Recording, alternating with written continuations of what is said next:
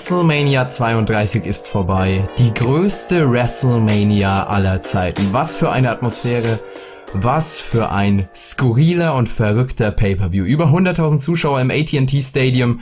Die Stage war super und diese ganze Atmosphäre war WrestleMania würdig. Wir werden den gesamten Pay-per-View auseinanderlegen, besprechen. Wir sind live auf Twitch und ich denke, ihr hört es, dass wir noch ziemlich durch sind. Das komplette Review-Team ist dabei.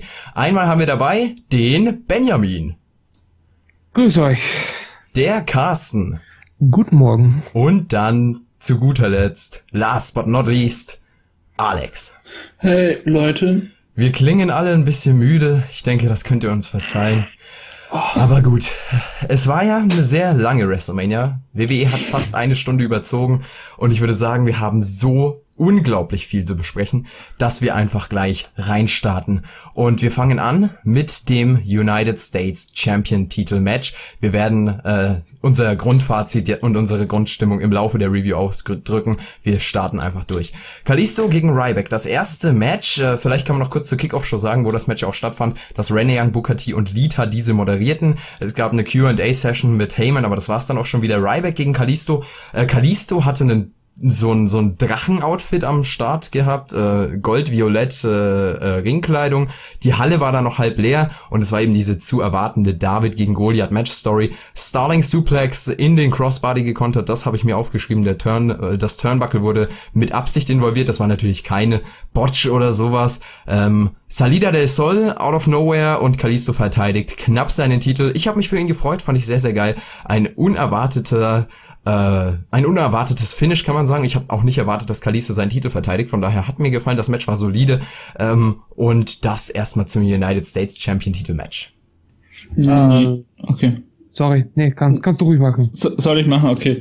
Ja, ich fand das Match auch okay. Ähm, ich fand's halt krass, dass die es so extrem früh gebracht haben. Also keine Ahnung, irgendwie um unsere Zeit halb zwölf oder kurz vor zwölf. Ähm, das Stadion war ja nicht nur halb leer, das war ja, keine Ahnung, da waren vielleicht 10.000, 20.000 Leute so gefühlt. Also ich fand's schon krass wenig dafür, dass wir hier einen Midcard-Titel haben. Hat mich natürlich auch für Kalisto gefreut, dass der bessere Wrestler meiner Meinung nach äh, als Ryback, aber das Match hat mich jetzt nicht gerade vom Hocker gehauen, aber war ja auch nur Kickoff-Show, ne?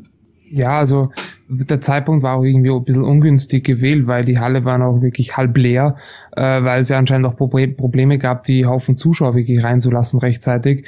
Und äh, deswegen gab es auch jetzt nicht so viel Resonanz von der Crowd. Ich fand das Match äh, ja eher langweilig und äh, es war für mich nicht mal das beste Kickoff-Show-Match, muss ich jetzt gleich mal offen und ehrlich gestehen.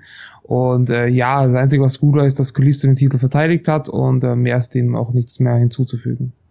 Ja, sehe ich ähnlich. Also wie zu erwarten war oder was ich ja auch vorher getippt hatte, dachte ehrlich gesagt auch am Ende, das war erst ein Botch, ähm, hat sich dann natürlich nachher schnell aufgeklärt und ähm, ja, nichts Besonderes. Ryback hatte das erwartete No-Selling-Problem auch hier wieder. Und ja, hat mich dann doch gefreut, dass Kalisto immerhin das Ding gewonnen hat. Ähm, zum Schluss ist leider nichts mehr passiert mit Ryback, dass er dann doch noch äh, ich sag mal, heel turned, äh, wobei er trotzdem schon recht viel, in Anführungsstrichen, Heat gezogen hat, dafür, dass die Halle echt äh, fast komplett leer war. So kann man es, denke ich, ausdrücken. Äh, wir haben übrigens gerade 250 Zuschauer live auf Twitch. Ich grüße euch alle. Was für eine skurrile WrestleMania kann man dazu sagen. Wir gehen gleich weiter zum nächsten Match und zwar ebenfalls in der Kickoff-Show. Das Tandy was Tag Team Match, das können wir auch ganz kurz abhaken. Team Bad and Blonde gegen äh, Team Total Divas. Alle hatten so ein äh, spezielles Outfit an, die bitchen ein bisschen rum. War einfach schrecklich. Lana hatte auch hier ihr In-Ring-Debüt, die kann auch nicht viel. Mein Kumpel äh, mit dem ich das geschaut habe, ich habe ja mit zwei Kollegen geschaut, äh, war ganz lustig, deswegen hat sich auch die Live-Review hier noch ein bisschen verspätet und äh, der hat so gefragt, was ist das denn für ein Typ da? Ach, das ist Tamina, ja. Fand ich sehr, sehr amüsant. Team Total Divas hat das Ganze gewonnen durch Brie Bella und Nikki kam dann noch raus, hat mit ihr gefeiert. Wahrscheinlich das letzte Brie Bella Match, aber das war einfach schrecklich. Keine Ahnung, ich habe es nicht gesehen. Ich habe mir Essen warm gemacht. Ja, als wenn mich das juckt. Ich habe nur gesehen, wie der Yes-Lock kam am Ende. Ja, und da kommen wir zur ersten Überraschung. Das war für mich äh, das beste Match in der Pre-Show. Äh, ich fühlte mich eigentlich entertained. Äh, das Finish, äh, Finishing-Sequenz mit äh, dem Yes-Lock fand ich eigentlich ganz nice. Ein paar Diven waren durchaus auch over beim Publikum, was das Match durchaus okay machte. Ich will jetzt nicht hier von einem guten Match reden, um Gottes Willen, aber ich fühlte mich mehr unterhalten als beim US-Title-Match und beim Tag-Team-Match. Also ist jetzt mal meine Meinung und deswegen war für mich das sogar noch hier am besseren hier in, in der Pre-Show, wenn ich ehrlich sein soll. Ja, also mich hat das Match auch schon so ein bisschen überrascht, muss ich auch zugeben. Äh, das Outfit von Lana war für mich das Highlight auf jeden Fall. Oh, yes. Das war nice. Deswegen, also das war schon mal schön anzusehen. Ähm, ansonsten dann gab es halt nicht den Heel-Turn, den wir erwartet hatten von äh, Eva Marie. Äh, sie hat sich zwar oder hat Page zwar nicht eingewechselt, aber naja, mehr war es eben auch nicht. Äh, ansonsten war ich wieder mal, ja, was heißt positiv überrascht, beziehungsweise auch das habe ich erwartet, dass Emma äh, ja recht stark gewirkt hat und auch relativ viel im Ring war. Äh, ja, zum Schluss dann durfte Brie ja auch das fast wie zu erwarten war, dann nochmal gewinnen in ihrem letzten Match. Dafür fand ich es halt ein bisschen unter ihrem Wert verkauft am Ende. Ja, also hat mich nicht groß beeindruckt, das Match. Ich fand es das schwächste der Kickoff-Show-Match, muss ich sagen. Äh, der Kickoff-Show. Ähm, aber gut, hier auch wieder die verschiedenen Meinungen, die aufeinandertreffen, würde ich sagen. Ähm, genau, dann gab's hier das Beste der Kickoff-Show fand ich, das war kein Match, sondern ein Segment. Lita stand im Ring, hält eine Promo über Frauenwrestling und präsentiert den neuen Women's-Titel, der dann auch später im Match eingeführt würde. Da reden wir, denke ich, gleich drüber. Ich fand, der Titel sah super aus. Aber gehen wir erstmal noch zum nächsten Match. Zum Women's-Titel kommen wir dann beim Divas-Match. Und zwar die Usos gegen die Dudley Boys. Das das letzte äh, Kickoff-Show-Match. Das war auch ziemlich Standard. Der Superkick führt zum Sieg der Usos. Nach dem Match gibt's noch den Double Uso-Splash durch die Tische. War auch auch hier wieder nichts Besonderes. Also die Kickoff-Show kann man sich, finde ich, einfach sparen im Nachhinein. Ja, ich fand's am äh, Ende halt richtig krass, wie äh, die Usos ausgebuht wurden und wie krass die Dudleys, die ja eigentlich als Heels reingegangen sind, over waren. Also bei der Crowd, die da war, da war das Stadion ja relativ gefüllt am Ende der Kickoff-Show. Und als die Tische von den Dudleys rausgeholt wurden, wurde halt übelst gejubelt. Und als die Usos dann gekontert haben, wurden sie halt ausgebucht. Ich dachte, oh shit, das ist einfach so der Roman Reigns-Effekt. Das liegt einfach in der Family. ähm, keine Ahnung, das Match, das ging ja noch nicht mal sechs Minuten. Ich fand's halt halt übelst der Standard-Shit. Keine Ahnung, es ist halt nur Kickoff-Show, aber ob sowas zu WrestleMania gehört, ne, ich weiß nicht. Kickoff sollte man da nicht mitzählen, ne? Sollten auch an dem Abend nicht die einzigen Samoaner sein, die rausgebucht werden. Äh, ja, Match war das schlechteste für mich sogar. Also mich hat's nicht die Bohne interessiert. Äh, das Beste in der Pre-Show war tatsächlich der Women's äh, Championship Belt, also die Vorstellung von Lita. Das war für mich so das Halle dann an, an der Kickoff-Show. Ja, also bei dem Match sehe ich das auch ähnlich. Das war das bei mir das Match, wo ich mir was zu trinken geholt habe äh, und äh, eben auch nicht viel verpasst habe. Zum Schluss dann kommen doch halt wieder mal die Tische, wie immer bei den Dudleys halt. Äh, ja, fand dann auch noch recht lustig, dass es dann doch ein bisschen Heat für die Usos mal wieder gab, wo, wo die dann eben äh, ihren Splash gezeigt haben, gab es ja dann doch wieder ein paar Pops. Also man merkt auch so, den Leuten ist das auch relativ latte. Hauptsache die Tische gehen am Ende kaputt. Und äh, so war es ja dann auch. Genau, so kann man das sagen. Das war's von uns zur Kickoff-Show und wir gehen endlich zur Main-Show. Äh, die wurde gestartet mit, mit Fifth Harmony, die hier America the Beautiful performen. Ich muss sagen, ich finde das immer ganz cool. Ich bin zwar kein äh, Amerikaner, aber ich finde trotzdem, dass das irgendwie das WrestleMania-Feeling Feeling unterstützt und da auch irgendwie mit dazugehört. Von daher, ich hatte kein Problem ähm, damit und dann auch das Promo-Video, was nochmal die Atmosphäre aufgebaut hat. Also das fand ich sehr, sehr stark und äh, war einfach so was Atmosphärisches äh, am Rande, was halt einfach sehr, sehr cool war, fand ich. Ja, äh, das juckt mich eigentlich auch nicht so krass. Ja, aber. Lass uns doch endlich zum Wrestling kommen, so. ja, es war halt gut vorgetragen. Also sie nehmen sich zumindest nie Nieten raus, die äh, die Hymne halt singen, aber es ist jetzt nicht sowas, was mich auch jetzt hier vom Hocker reißt.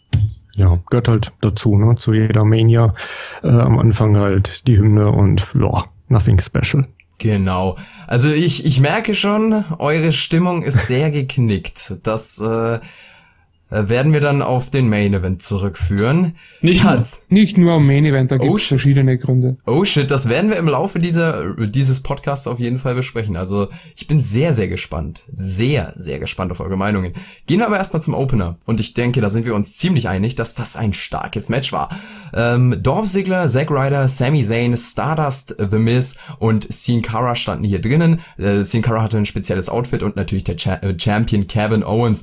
War super actionreich, geniale Aktionen, Outside Dives und so weiter. Hat mir sehr, sehr gut gefallen als Opener von WrestleMania. Es gab geniale Aktionen. Äh, Sami Zayn springt zum Beispiel durch die Leiter, zeigt dann noch seinen Torpedo DDT, was ich sehr, sehr krass fand. Äh, Owens zeigt einen Frog Splash auf Zayn, der auf einer Leiter lag. Der Elbow Drop von Ryder von der Leiter und so weiter. Viele, viele kranke Spots. Zayn und Owens waren dann äh, am Ende ziemlich miteinander beschäftigt, waren im Fokus, was ich auch sehr, sehr gut fand. Es kam der Exploder Suplex auf die Leiter. Zack Ryder ist dann oben, stößt The Miz runter und gewinnt so unglaublich überraschend diesen Titel. Und ich muss sagen, ich finde jetzt Zack Ryder nicht schlecht oder so, aber ich hätte jeden in diesem Match lieber gesehen als Zack Ryder. Trotzdem muss ich sagen, ich finde es nicht schlimm, dass Zack Ryder den Titel gewonnen hat. Also, es ist sicherlich nicht die beste Lösung gewesen, aber dass hier ein Zack Ryder gewinnt, zeigt vielleicht auch, dass er dass die WWE trotzdem wertschätzt, dass er so treu, loyal und gut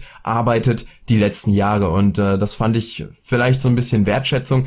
Dazu ist natürlich dieser Titel nicht da, um jemandem Wertschätzung zu geben, das ist ganz klar. Aber ich fand es jetzt nicht unbedingt schlimm. Ich denke, es wird jetzt eine Zack Ryder gegen The Miz Fehde kommen. Die beiden werden ein bisschen gepusht werden und Owens gegen Zayn geht in die Einzelfehde ohne Titel. Das Match bekommt von mir vier Sterne tatsächlich. Hat mir sehr, sehr gut gefallen. War ein starker, äh, starker Opener, so wie ich es mag. Einfach als Lucha, äh, Lucha Libre und Lucha Underground Fan äh, mit diesem Spot Dressing und so weiter. Das war auf jeden Fall sehr, sehr cool. Ryder bekommt auf jeden Fall das, was er verdient, ob man den jetzt als Sieger feiert oder nicht. Äh, da bin ich mir selbst noch nicht so ganz klar drüber, aber äh, warum denn nicht? Vier Sterne von mir für den Opener. Ich fand das Match auch ziemlich äh, gut. Ähm, dass Ryder gewonnen hat, da bin ich mir nicht ganz sicher, was ich davon halten soll. Aber erstmal muss ich sagen, mir gefiel es auf jeden Fall, äh, wie Zane im Match nach und nach äh, immer mehr overkam, weil am Anfang bei seinem Entrance war es noch nicht so krass, da hätte ich mir schon ein bisschen mehr von der WrestleMania Crowd erwartet bei Zane. Ähm, aber halt nach den Aktionen, die du schon erwähnt hast, ja da gezeigt hat, äh, wurde es ja immer mehr und immer mehr und immer als Owens und Zane gegenüberstanden, war es einfach schon so ein episches Feeling, fand ich einfach, ne, als sie dann auf sich losgeprügelt haben, als sie sich einfach nur angeschaut haben. Es hat so viel rübergebracht und keine Ahnung, ich, ich hatte schon zwischendurch fest damit gerechnet, als die beide oben auf der Leiter waren, dass, dass sowas ähnliches wie letztes Jahr bei Rollins Ambrose oder sowas kommt, irgend sowas, so ein Special Finish, aber ich war mir ziemlich sicher, dass der Titel zwischen äh, Owens oder Zane äh, oder zu Owens oder Zane gehen wird. Und keine Ahnung, Ryder hat mich so krass überrascht. Ich, ich weiß nicht, ich kam gar nicht darauf klar. Ich, verstehe das nur alles nicht, was sowas soll. Ich habe jetzt auch nichts gegen Ryder. Ich finde auch, ähm, der hat in letzter Zeit weniger bekommen, als er verdient hat. Ich meine, der ist kein super Wrestler, aber in der unteren Midcard oder in der Midcard kannst du ihn eigentlich bringen. Und im Endeffekt wird er ein, zwei Jahre, drei Jahre, keine Ahnung, verjobbt und ist jetzt nach NXT gekommen äh, vor ein paar Monaten. Und ich weiß nicht, den einfach sofort wieder hochzubringen und sofort den Titel zu geben, hätte vielleicht nicht sein müssen. Ähm, und ich bin mir nicht sicher, ob ohne Titel Owens gegen Zayn die Fehde so gut kommen wird. Ich weiß nicht, ob, ob, ob die, äh, die Mainstream-Crowd dafür bereit ist, Owens gegen Zayn ohne Titel zu sehen. Ich bin mir nicht sicher. Aber an sich fand ich das Match auf jeden Fall gut, weil ich hatte krasse Spots und auf sowas stehe ich ja auch. War. Ich würde auch vielleicht sagen, ja, eher drei, drei Viertel, aber vielleicht vier Sterne so. Ja. Ja, also muss ich mich auch anschließen. Also für mich gibt's auch vier Sterne. Opener war wirklich stark, war für mich zweitbestes Match des Abends.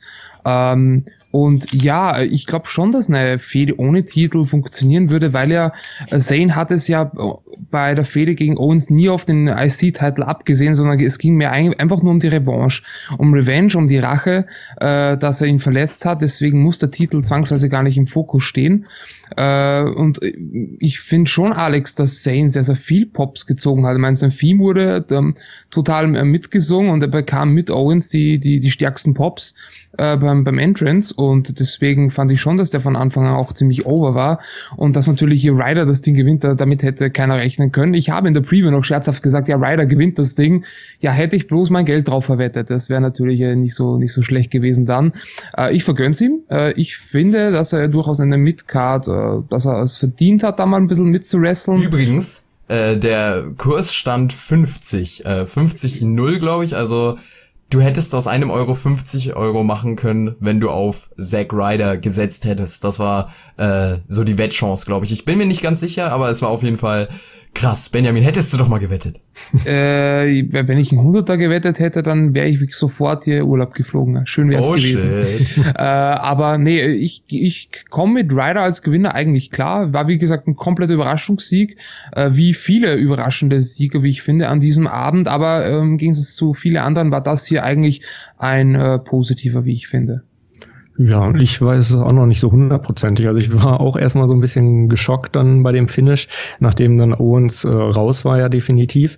Und ähm, ja, sehe das halt ähnlich. Also wenn wenn es jetzt sinnvoll weitergeht mit ihm, dann gönne ich es ihm auch, wenn er jetzt gepusht wird damit und nicht halt wieder nur so ein, so ein Lückenfüller halt ist.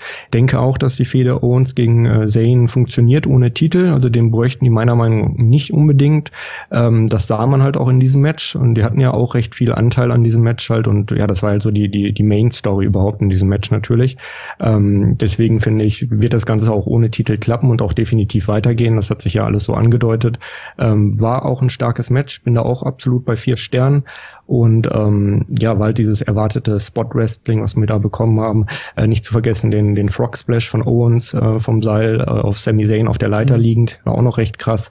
Äh, generell war ich ein bisschen überrascht, dass doch Owens so viel zeigen durfte. Also ich dachte, die nehmen ihn ein bisschen mehr raus. Ähm, ja, und dementsprechend war es dann noch mehr eine Überraschung, dass er am Ende beim Finish halt keine Rolle mehr spielte dann. Und ja, wie gesagt, ich hoffe dann, dass Ryder jetzt sinnvoll damit gepusht wird und nicht halt nur kurz den Titel halten wird. Okay, dann war's das, denke ich, von uns zum IC Ladder Match. Für uns alle ein starker Opener, der WrestleMania würdig eröffnet hat. Gehen wir zu einem Rematch und zwar AJ Styles gegen Chris Jericho Nummer 4. Bei WrestleMania fand ich, war dieses Match trotzdem nochmal was Spezielles, auch wenn ich mir hier gewünscht hätte, dass es fucking nochmal eine Stipulation gibt. Trotzdem war das Ganze ein sehr, sehr starkes Match. Ich fand das beste Match, das die beiden bisher hatten. Äh, es gab Submission-Phasen, Drama, Kickout aus dem Code, äh, Codebreaker und aus dem Style, Styles Clash. Äh, geniale Konter, schöne Sequenzen. Am Ende wurde der Springboard-Vorarm in den Codebreaker gekontert und Chris Jericho gewinnt, was ich eine falsche Entscheidung fand, denn AJ Styles hätte hier das Ding gewinnen müssen, denn ein WrestleMania-Sieg ist für Styles einfach elementar wichtig. Ich find's gut. Auf der anderen Seite, so, so ein bisschen mit einem weinenden und einem, einem lächelnden Gesicht sehe ich das Ganze, denn Chris Jericho hat zumindest jetzt wieder seine Kredibilität erhalten. Hätte er jetzt nochmal gegen Styles verloren, also die Fehde wäre einfach sehr, sehr eigenartig gewesen. Das heißt im Endeffekt trotzdem, dass es noch ein Match geben wird. Und äh, darauf habe ich ehrlich gesagt keinen Bock. Trotzdem an sich von der Qualität fand ich das Match sehr stark. Ich gebe drei an dreiviertel Sterne. Also ich war in diesem Drama von diesem Match auf jeden Fall drin. War für mich kein Vier-Sterne-Match, aber äh, es war ziemlich nah dran. Und das Finish war schon auf jeden Fall sehr, sehr eigenartig. Äh, hätte ich mir auch nie so erwartet. Aber ähm, naja, Jericho hat zumindest seine Kredibilität jetzt wieder bekommen. Ja, das Match fand ich an sich auch ganz gut. Ähm, ich fand's relativ kacke, als Jericho aus dem Styles Clash äh, ausgekickt ist, weil im Endeffekt ist Styles Clash ja so ein Move, den wir so gut wie nie sehen dürfen, so nur bei besonderen Veranstaltungen, weil er so gefährlich ist. Wir durften ihn einmal am Anfang gegen Axel sehen und dann wird er extrem zurückgehalten in den Styles-Matches. Und ähm, jetzt da wir ihn dann wieder einmal beim Pay-Per-View bringen, sogar bei, beim größten überhaupt, und dann wird direkt rausgekickt. Also keine Ahnung, das, das fand ich jetzt ein bisschen kacke und überhaupt, dass Jericho gewonnen hat. Aber so wie er nach dem Match reagiert hat, kann ich mir auch vorstellen, dass es vielleicht bald sein letztes WrestleMania war oder so. Kam euch das nicht so vor? Ich weiß nicht, vielleicht interpretiere ich auch krass, aber der hat ja schon äh, das eine oder andere Tränchen verdrückt und war krass drauf. Dann dann kann ich es irgendwo verstehen, dass man einen Sieg gibt, aber das tut auf jeden Fall Styles weh, dass er seine erste WrestleMania direkt in dem Match verliert und ich glaube einfach, man hätte die Fehde früher beenden sollen und Styles in ein anderes Match bringen und Jericho halt auch. Also für mich war das auf jeden Fall auch eine Fehlentscheidung, aber das Match war auf jeden Fall noch gut. Die, die Anfangsphase war überhaupt relativ gut. Ja, ich, ich muss sagen, es war für mich auch das beste Match von, von ihr, ihrer Serie. Ich würde auch so drei, drei Viertel geben, dreieinhalb, drei, drei Viertel. Äh, ja, ich weiß auch nicht, was ich vom Finish genau halten soll, weil äh, klar, Jericho WrestleMania Sieg, den gab es schon ewig lange nicht mehr, weil die anderen beiden WrestleManias, wo er in der letzten Zeit mal war, da hat er gegen äh, CM Punk verloren, okay, und gegen äh, Fandango der heute als erstes in der Battle Royale, äh, Battle Royale rausgeflogen ist. Nur mal so äh, als Vergleich. Deswegen ist es, finde ich, nicht schlecht, dass Jericho gewonnen hat, aber mm, gegen AJ hätte es nicht unbedingt sein müssen, weil AJ hätte den Sieg einfach wirklich gebraucht, um sich wirklich in dieser Fehde durchzusetzen, um dann äh, wirklich in der, ich sag mal, vielleicht mit Uppercard sich mal festzubeißen. Jetzt äh, weiß man halt noch nicht genau, wie es mit ihm weitergeht. Ich denke nicht, dass er in der Undercard verschwinden wird, um Gottes Willen, aber so die Position ist halt jetzt nicht wirklich genau klar von Styles. Und ja, also ob es jetzt vielleicht noch ein Match gibt, halte ich auch nicht für ausgeschlossen. Ich will es jetzt nicht mehr sehen, aber man kann ja der WWE, wie man heutigen Abend gesehen hat, wirklich alles zutrauen. Äh, und äh, ja, tolles Match, aber der Sieger hat mir jetzt nicht so gut gefallen. Ja, auch hier wieder muss ich auch äh, zugeben, war ich auch überrascht, äh, dass Jericho gewonnen hat. Ähm, generell das Match von der Matchqualität eigentlich sehr gut, fand ich. Äh, Wäre da sternemäßig auch bei drei, drei Viertel auf jeden Fall. Und ähm, generell auch nochmal so allgemein, wie Alex auch schon angedeutet hat, am Anfang war schon wirklich noch so der, der Hype da und äh, die Matches auch noch recht gut von der Qualität. Ähm, und äh, auch dieses Match halt, wie gesagt, äh, rein In-Ring-Work-mäßig auf jeden Fall gut von beiden. Auch das beste Match äh, der Serie von beiden. Denke auch, wie Alex auch schon angedeutet hat, dass das irgendwie was mit Jericho zu tun hat, weil er war schon ein bisschen komisch drauf nach diesem Sieg. Und ähm, ja, auch das ist mir aufgefallen. Denke deswegen, dass es schon das letzte Match der beiden war. Hoffentlich auch wirklich. Und äh, ja, dass, dass AJ da jetzt nicht gewonnen hat, hat mich, wie gesagt, überrascht, sehe ich aber jetzt auch nicht ganz so negativ, weil äh, ich bin auch kein Freund dieser Mega-Pushes am Anfang direkt. Also er kann das auch vertragen, jetzt hier zu verlieren, äh, wenn dann der Aufbau halt sinnvoll weitergeht, vielleicht in ein Titelgeschehen irgendwo reingesteckt wird, äh, dass das halt jetzt auch peu à peu praktisch aufgebaut wird bei ihm und nicht so megamäßig übertrieben wird. Und äh, Jericho tut der Sieg definitiv gut, wenn er jetzt dabei bleibt. Also wenn er jetzt doch noch weiter ein paar Fäden äh, haben wird, dann braucht er halt diesen Sieg, um nicht wirklich als Jobber zu gelten. Sehe ich ganz genauso. Also ähm, ist ein starkes Match gewesen mit einem interessanten Sieger, aber ich sehe das, wie gesagt, so 50-50. Einerseits ist es gut, dass Jericho hier ein Match gewinnt, dass er seine Kredibilität wieder hat. Andererseits braucht Jay, äh, AJ Styles eigentlich einen WrestleMania-Sieg. Ja, mal sehen. Vielleicht war es auch schon die letzte WrestleMania von Chris Jericho. Wenn ja, dann gönne ich ihm auf jeden Fall diesen Sieg. Und von daher, wir wissen es nicht genau. Äh, Jericho, ich, ich, ich sehe das übrigens ähnlich wie Carsten. Also, wenn man man muss nicht jeden direkt krass pushen. Also es ist sicherlich mal ein gutes Stilmittel, aber man kann nicht jeden direkt krass pushen und äh, nicht direkt zum Main Eventer machen. Mal aber ähm, AJ Styles wrestelt jetzt schon seit 15 Jahren. Ist jetzt nicht so, dass der noch ewig viel Zeit hat und außerdem ist er schon auf dem höchsten Level, auf dem man eigentlich sein kann. Ja, vom In-Ring technischen auf jeden Fall, aber ich weiß jetzt nicht, ob das zu seinem Charakter passt, dass der wirklich äh, jeden hier besiegt. Also ähm, weiß ich nicht. Keine Ahnung. Mal hat sehen. er schon vorher mal verloren gegen Jericho. Ist ja auch egal. Ja. Aber wenigstens war das Match gut. So, das da, das da, Match war sehr stark. Also vor allem die, die Matchqualität der Main Show ging ja hier schon krass los. Wir hatten zwei sehr gute Matches. Ein super Match, ein sehr gutes Match. Und äh, jetzt gehen wir zu einem mehr oder weniger Lowlight. Ja, kann man eigentlich so sagen.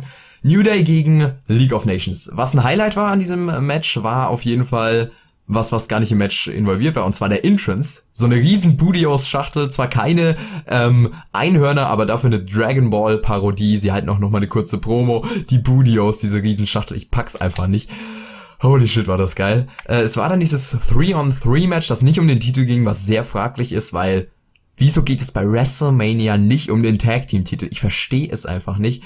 Aber gut, äh, deswegen war das Match auch teilweise sehr irrelevant. Bro, äh, Bro Kick, die Lads wie sie sich ja nennen, dummer Nickname, gewinnen das Match.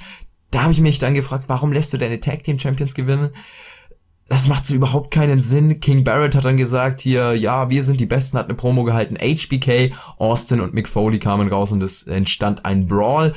Der Stunner folgt Sweet Chin Musics und äh, Mr. Sockos äh, Attacken gab's hier auch noch. Xavier kassiert dann auch noch einen Stunner. Die trinken alle Bier, die Legenden feiern. War ein legendäres Segment im wahrsten Sinne des Wortes, aber wieso verliert New Day? Man kann New Day hier auch einfach gewinnen lassen gegen die Immigranten Freakshow League of Nations und dann einfach sagen, ja, die League of Nations äh, verprügeln New Day und dann machen die Legenden den Safe oder so. Dann wären auch League of Nations erstmal oben gestanden und so weiter. Also für mich hat das keinen Sinn ergeben das Match, keine Ahnung, war überhaupt nichts Besonderes. Wahrscheinlich ein Zwei-Sterne-Match höchstens. Also das hat mich überhaupt nicht gepackt, vor allem was auch nicht um die Titel ging. Ja, das Match jetzt selbst fand ich auch nicht so doll. Einmal hatte ich auf jeden Fall Angst um äh, Big E, als er sein, sein Spear gegen die zwei Gegner gebracht hat, äh, durch die, durch die Ringseile nach außerhalb. Es kam mir so vor, als wäre der übelst auf dem Kopf gelandet. Ich hatte zwischendurch auf jeden Fall Schiss. Ähm, aber du hast schon recht, der Entrance war eigentlich das geilste. Xavier Woods Frisur, weil er einfach ein Super Saiyajin war, konnte ich auf jeden Fall feiern. Ähm, wie gesagt, das Match selbst hat, ja, war okay, ne? Äh, von der Matchqualität her. Das Ende kann ich auf jeden Fall nicht nachvollziehen, was das sollte. Besonders die, das Schlimmste daran ist halt meine Befürchtung, ja, jetzt hat die League of Nations schon wieder gegen äh, New Day gewonnen. Das heißt, die verlangen bald ihr nächstes Titelmatch und die Fehde wird weitergezogen. Und das möchte ich einfach nicht sehen. Ich habe keinen Bock darauf. Die League of Nations sind für mich, das komplett die Luft raus bei mir. Ganz ehrlich, das sind einfach gute Einzelpersonen teilweise. Aber für mich ist das gar nichts mehr. Äh, ich bin da voll äh, uninteressiert und ähm, ich finde, es zieht New Day einfach runter in der Fehde mit denen zu stecken und auch, auch den Tag Team Champs ein Free-on-Free-Match zu geben bei WrestleMania und es geht nicht um Titel oder so, finde ich halt auch komplett sinnlos. Und ja, mit den Legenden, das war ja schön, dass man die reingeholt hat. Schön und gut. Ähm, aber wie gesagt, man hätte das mit dem Match vorher wenigstens anders machen können, wie du es gerade schon erzählt hast. Finde ich auch. Also das, das Match hat irrsinnig an Relevanz verloren, wo dann halt die Titel nicht mehr auf dem Spiel standen. Und deswegen, es war auch von der Matchqualität wirklich das schlechteste Match hier beim, na, wobei, na gut, war doch das schlechteste Match äh, hier bei Mania. Äh, aber ja, also es gab eben wirklich im Match selbst nichts Besonderes, keine speziellen Aktionen oder so.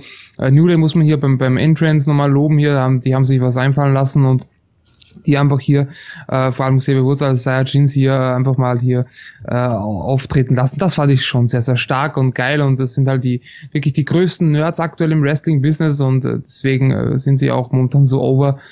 Und ja, aber selbst zum Match ist halt nicht, ist halt nichts, uh, nothing special hier dran gewesen. Das mit dem, mit dem Legenden dann, mit Michaels hat mich sehr, sehr gefreut. Das, mit dem habe ich jetzt nicht gerechnet. Foley und Austin, mit denen war zu rechnen. Allerdings war das zumindest dann eher, ja, sag mal, lustigeres Aftermath, aber ich hätte es jetzt auch nicht unbedingt, äh, nicht unbedingt gebraucht.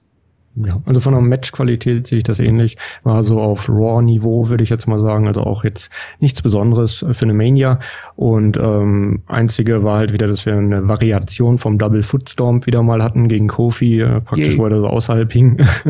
und äh, zum Schluss immerhin Match-Story-mäßig halt, äh, was ich ja auch schon mal vermutet hatte, dass New Day in Form von Woods es halt wieder probiert mit diesem Hosenzieher-Cover. Äh, diesmal wurde halt äh, Barrett involviert mit seinem Ellbogen von draußen draußen und ja, dann der überraschende Sieg für die League of Nations. Und ich fürchte da auch ähnliches, dass die jetzt eben behaupten, sie haben die Champs besiegt, also sprich kriegen sie ein Titelmatch bei der nächsten Großveranstaltung. Und ähm, das muss ich auch nicht unbedingt sehen, weil ich auch da fürchte, dass sie die Titel dann wahrscheinlich sogar gewinnen werden, wie ich, wie ich es momentan sehe. Ähm, mit der, mit New Day weiß ich nicht, ob dieses Endsegment, also dass der Stunner dann nochmal für Woods rauskam, vielleicht auf doch dann wieder auf den Heel-Turn schließen könnte. Und äh, vielleicht kommt ja dann doch äh, Enzo und Cass, die gegen die äh, beiden oder drei eben dann fäden, weil New Day das Ganze ja so darstellen könnte, dass die Fans das halt so abgefeiert hatten, dass sie jetzt da doch noch äh, einen Stunner eingesteckt haben. Also vielleicht steckte da der Sinn noch hinter, dass man halt die Legenden da rausgebracht hatte. Ansonsten habe ich mich auch gefreut im ersten Moment, dass HBK halt in, in Gear praktisch rauskam. Ähm, der sich übrigens super gehalten hat. Also oh ja. holy shit, sieht oh ja. der noch gut aus. Mhm. Ja, das stimmt. Und ähm, ja, also wie schon gesagt, das war dann natürlich mehr so ein, so ein Fun-Segment zum Schluss, wurden halt alle abgefertigt. Auch das mit Austin war ja äh, abzusehen aus weiter Ferne, dass da noch was kommt. Und ja, von daher, es war schon unterhaltsam, also nach dem Match besonders und ähm, aber halt das Match selbst einfach schon so ein bisschen Lowlight, würde ich sagen, von der Matchqualität. Auf jeden Fall von der Matchqualität. Ich denke, diese WrestleMania hat auch sehr von der Matchqualität gelebt, durchs Booking gelitten, aber dazu mehr. Obwohl das Match, zu dem wir jetzt kommen, das war die absolute Enttäuschung. Holy. Mhm. Eieiei. Das No DQ Match zwischen Brock Lesnar und Dean Ambrose und das ist, war einfach das Dream Match schlechthin. Es war so eine geile Ansetzung, aber was im Endeffekt daraus geworden ist, hat mich einfach so traurig gemacht und so, so angepisst und so enttäuscht. Lesnar hat im Match erstmal natürlich standardmäßig Ambrose durch den Ring geworfen. Es war die komplette Zerstörung. Gab den Low Blow von Ambrose. Äh, das war nochmal ganz gutes Match-Storytelling. Äh, Kendo-Sticks wurden eingesetzt, Stühle wurden eingesetzt, Feuerlöscher wurden eingesetzt. Äh, es gab dann den Belly-to-Belly Superplex, den ich auch krass fand. Dirty Deeds auf die Stühle. Lesnar kickt raus, F5 auf die Stühle. Und dann dachte ich mir, geil, Alter. Geiler Spot. Ambrose kommt raus und Lesnar geht zum Cover Eins, zwei, drei. Und ich habe die Arme hochgerissen, über den Kopf geschlagen, habe mir gedacht, das kann's doch jetzt nicht gewesen sein. so ein grandioser Aufbau. Und dann resultiert so etwas daraus.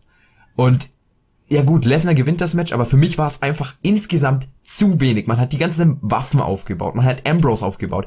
Nur um ihn in 10 Minuten verlieren zu lassen, das war ich so. Ich muss dich korrigieren, das waren immerhin noch zwölf Minuten. Zwölf Minuten verlieren zu lassen, das war eine komplette Enttäuschung. Und es hat mich einfach so runtergezogen. Also da war viel mehr Potenzial drinnen. Und ich fand, das Match war sehr gut. Also ähm, dreieinhalb Sterne für die Zeit, die die beiden haben oder hatten, haben sie da sehr, sehr viel draus gemacht. Aber ich überlege mir halt dann, was wäre, wenn man acht Minuten hier mehr investiert hätte? Was wäre dann passiert? Ich hoffe einfach, dass die beiden ein Rematch haben bei Payback, dass es eine Fehde daraus wird und dass Ambrose eben nicht locker lässt, aber im Endeffekt hatte Ambrose ja kaum eine Chance, was dieses Match anging. Er hat zwar teilweise auch Lesnar gut geben können, aber äh, das war einfach ein F5 auf die Stühle und dann war das Ganze vorbei. Und es ist einfach zu wenig gewesen für meine Verhältnisse und ich bin enttäuscht, wenn man sich anschaut, was daraus geworden ist. Und das war für mich die Enttäuschung schlechthin bei dieser Show, muss ich sagen. Es stand noch über dem Main Event, muss ich, muss ich ganz ehrlich zugeben. Äh, aber zum Main Event kommen wir gleich noch. Also äh, erstmal zu Ambrose Lesnar. Ja, kann ich dir aber auf jeden Fall zustimmen. Ich war auch so extrem enttäuscht davon, weil beim Main Event hatte ich ja schon sowieso Befürchtungen. Ne? Hier hat man halt die großen Erwartungen eigentlich gehabt und acht Minuten mehr hätten da auch nicht gereicht. Ähm, das Problem war einfach, wie es aufgebaut wurde. Ambrose wird richtig krank dargestellt, äh, also psychisch krank so, nach dem Motto kriegt von Mick Foley äh, den, den geilen Baseball-Bat mit dem Barbed Wire rum und die Kettensäge von Terry Funk und ja, es wird so krass auf Gegenstände aufgebaut. Ambrose holt sich ja letzte Mal nochmal in der Raw da, äh, mit, mit diesem Wagen oder was, mit, ne, was in der Raw, mit dem Wagen nochmal die ganzen Waffen ab und so und es ist so krass und dann wird erzählt, yo, das ist, wird am Rande von dem sein, was man in der PG-Era machen kann und bla bla. Und im Endeffekt war es so lächerlich, das überhaupt als Streetfight zu bezeichnen. Im Endeffekt hatten wir ein paar Kendo-Stick-Schläge, ein paar Stuhlschläge und äh, ein Finishing Move auf dem Stuhl. Herzlichen Glückwunsch, das ist so lächerlich. Wie kann man sowas No Holds Barred Street Fight nennen und das so groß ankündigen, weißt du? Die waren noch nicht mal ansatzweise in der Nähe der Rampe des Titantrons oder irgendwie sowas oder, oder richtig im Publikum oder haben mal eine härtere Waffe genommen. Es war einfach nichts. Wir hatten einfach die Standard, Standard German Suplexes, den Low Blow und Feuerlöscher, also diese ein bisschen unfairen Aktion, damit Ambrose auch irgendwie wieder hochkommt und damit Gegenständen auf ihn einschlagen kann. Und dann war das Match einfach so schnell vorbei. Und bei mir war es genauso wie bei dir, ne? Der bringt den F5 durch. Das Cover kommt halt eins, äh, zwei und ich so, oh shit, jetzt kommt der Kickout bei 2,9 und was passiert? Es wird einfach bis drei gezählt. Ich meine, Leute, was, was soll das so? Man hätte Ambrose hier richtig krass wirken lassen, als könnte man ihn wirklich nicht zerstören lassen. Und im Ende, äh, als könnte man ihn nicht zerstören. Im Endeffekt ist er nach einem F5 auf die stille K.O. und für mich einfach die Enttäuschung des Abends. Und ich könnte mich auch jetzt noch so weiter darüber aufregen, dass sowas als No Holds Barred Street Fight bei WrestleMania gezeigt wird. Es wurde ganz Zeit von den großen drei geredet und dann kommt sowas und enttäuscht absolut. Ja. ja. Dann mache ich mal weiter, wenn Benjamin noch nicht da ist.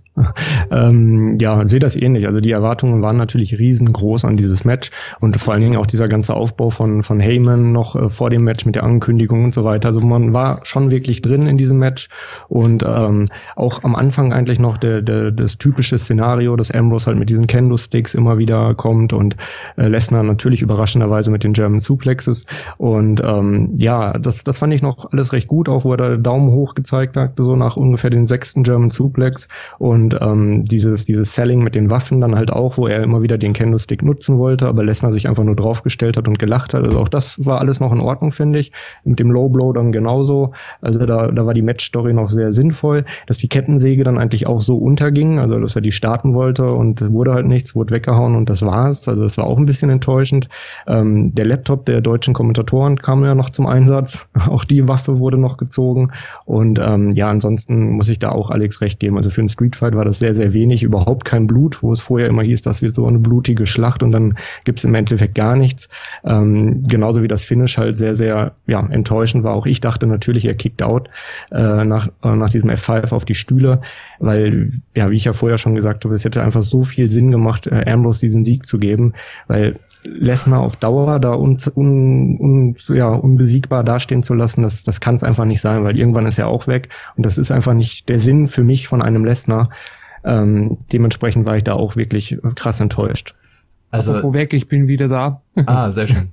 okay, äh, kann ich kurz meine Meinung noch dazu klar, abgeben? Klar, auf jeden. Okay, perfekt. Äh, ja, im Endeffekt, äh, ist, ich gehe mit eurer Meinung natürlich konform. Es ist, was, was ging das Match hier? 12 Minuten, 50.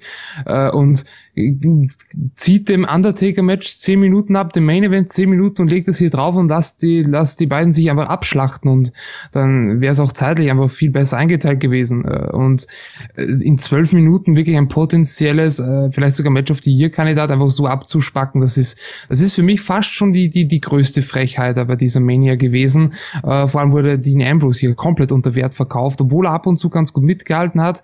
Und auch diese Street Fight-Ankündigung, das war gerade das, das most äh, PG-lastigste Street Fight, den ich je gesehen habe. Du hast kaum Gegenstände zum Einsatz gebracht. Ein paar Stühle, Candlesticks und, äh, und ja, ein Feuerlöscher. Toll, das war's. Also die Kettensäge, die wurde kurz mal ausgepackt und die ging dann eh. Und auch hier der, dieses Bar, dieser Barbed Wire Baseballschläger, der wurde äh, versucht, einmal, einmal damit zuzuschlagen und das war's auch schon und dann besiegt er mit einem einzigen F5 Lesnar bereits Ambrose. Also Ambrose hast du hier so schwach rausgehen lassen. Äh, ich weiß nicht, was der verbrochen hat. Er tut mir richtig leid, weil du, er hat auch irrsinnig viel Pops bekommen. Also man hat das schon gesehen. Er war definitiv einer der beliebtesten äh, bei der ganzen Mania Card. Und dass du ihn dann hier so abfrühstückst, das grenzt für mich wirklich an eine große Frechheit. Das Match selbst war für die Länger wirklich nicht schlecht. Drei ein Viertel vielleicht würde ich noch geben, was für zwölf Minuten eh schon ganz gut ist. Aber die Frechheit steht hier wirklich im Vordergrund bei diesem Match. Es war einfach die absolute Enttäuschung und das ist das perfekte Beispiel, wie man durch Booking ein Match versauen kann. Das mhm. Zeitmanagement dieser Show war schrecklich. Also wirklich grauenhaft. Und also ich hoffe einfach, dass es weitergeht. Wenn es das war mit Ambrose und Lesnar, dann bin ich richtig sauer, weil das so ein geile, so eine geile Ansetzung ist, die man durch dummes Booking so zerstört. Also ich, es trifft bei mir einfach nur auf Missverständnis.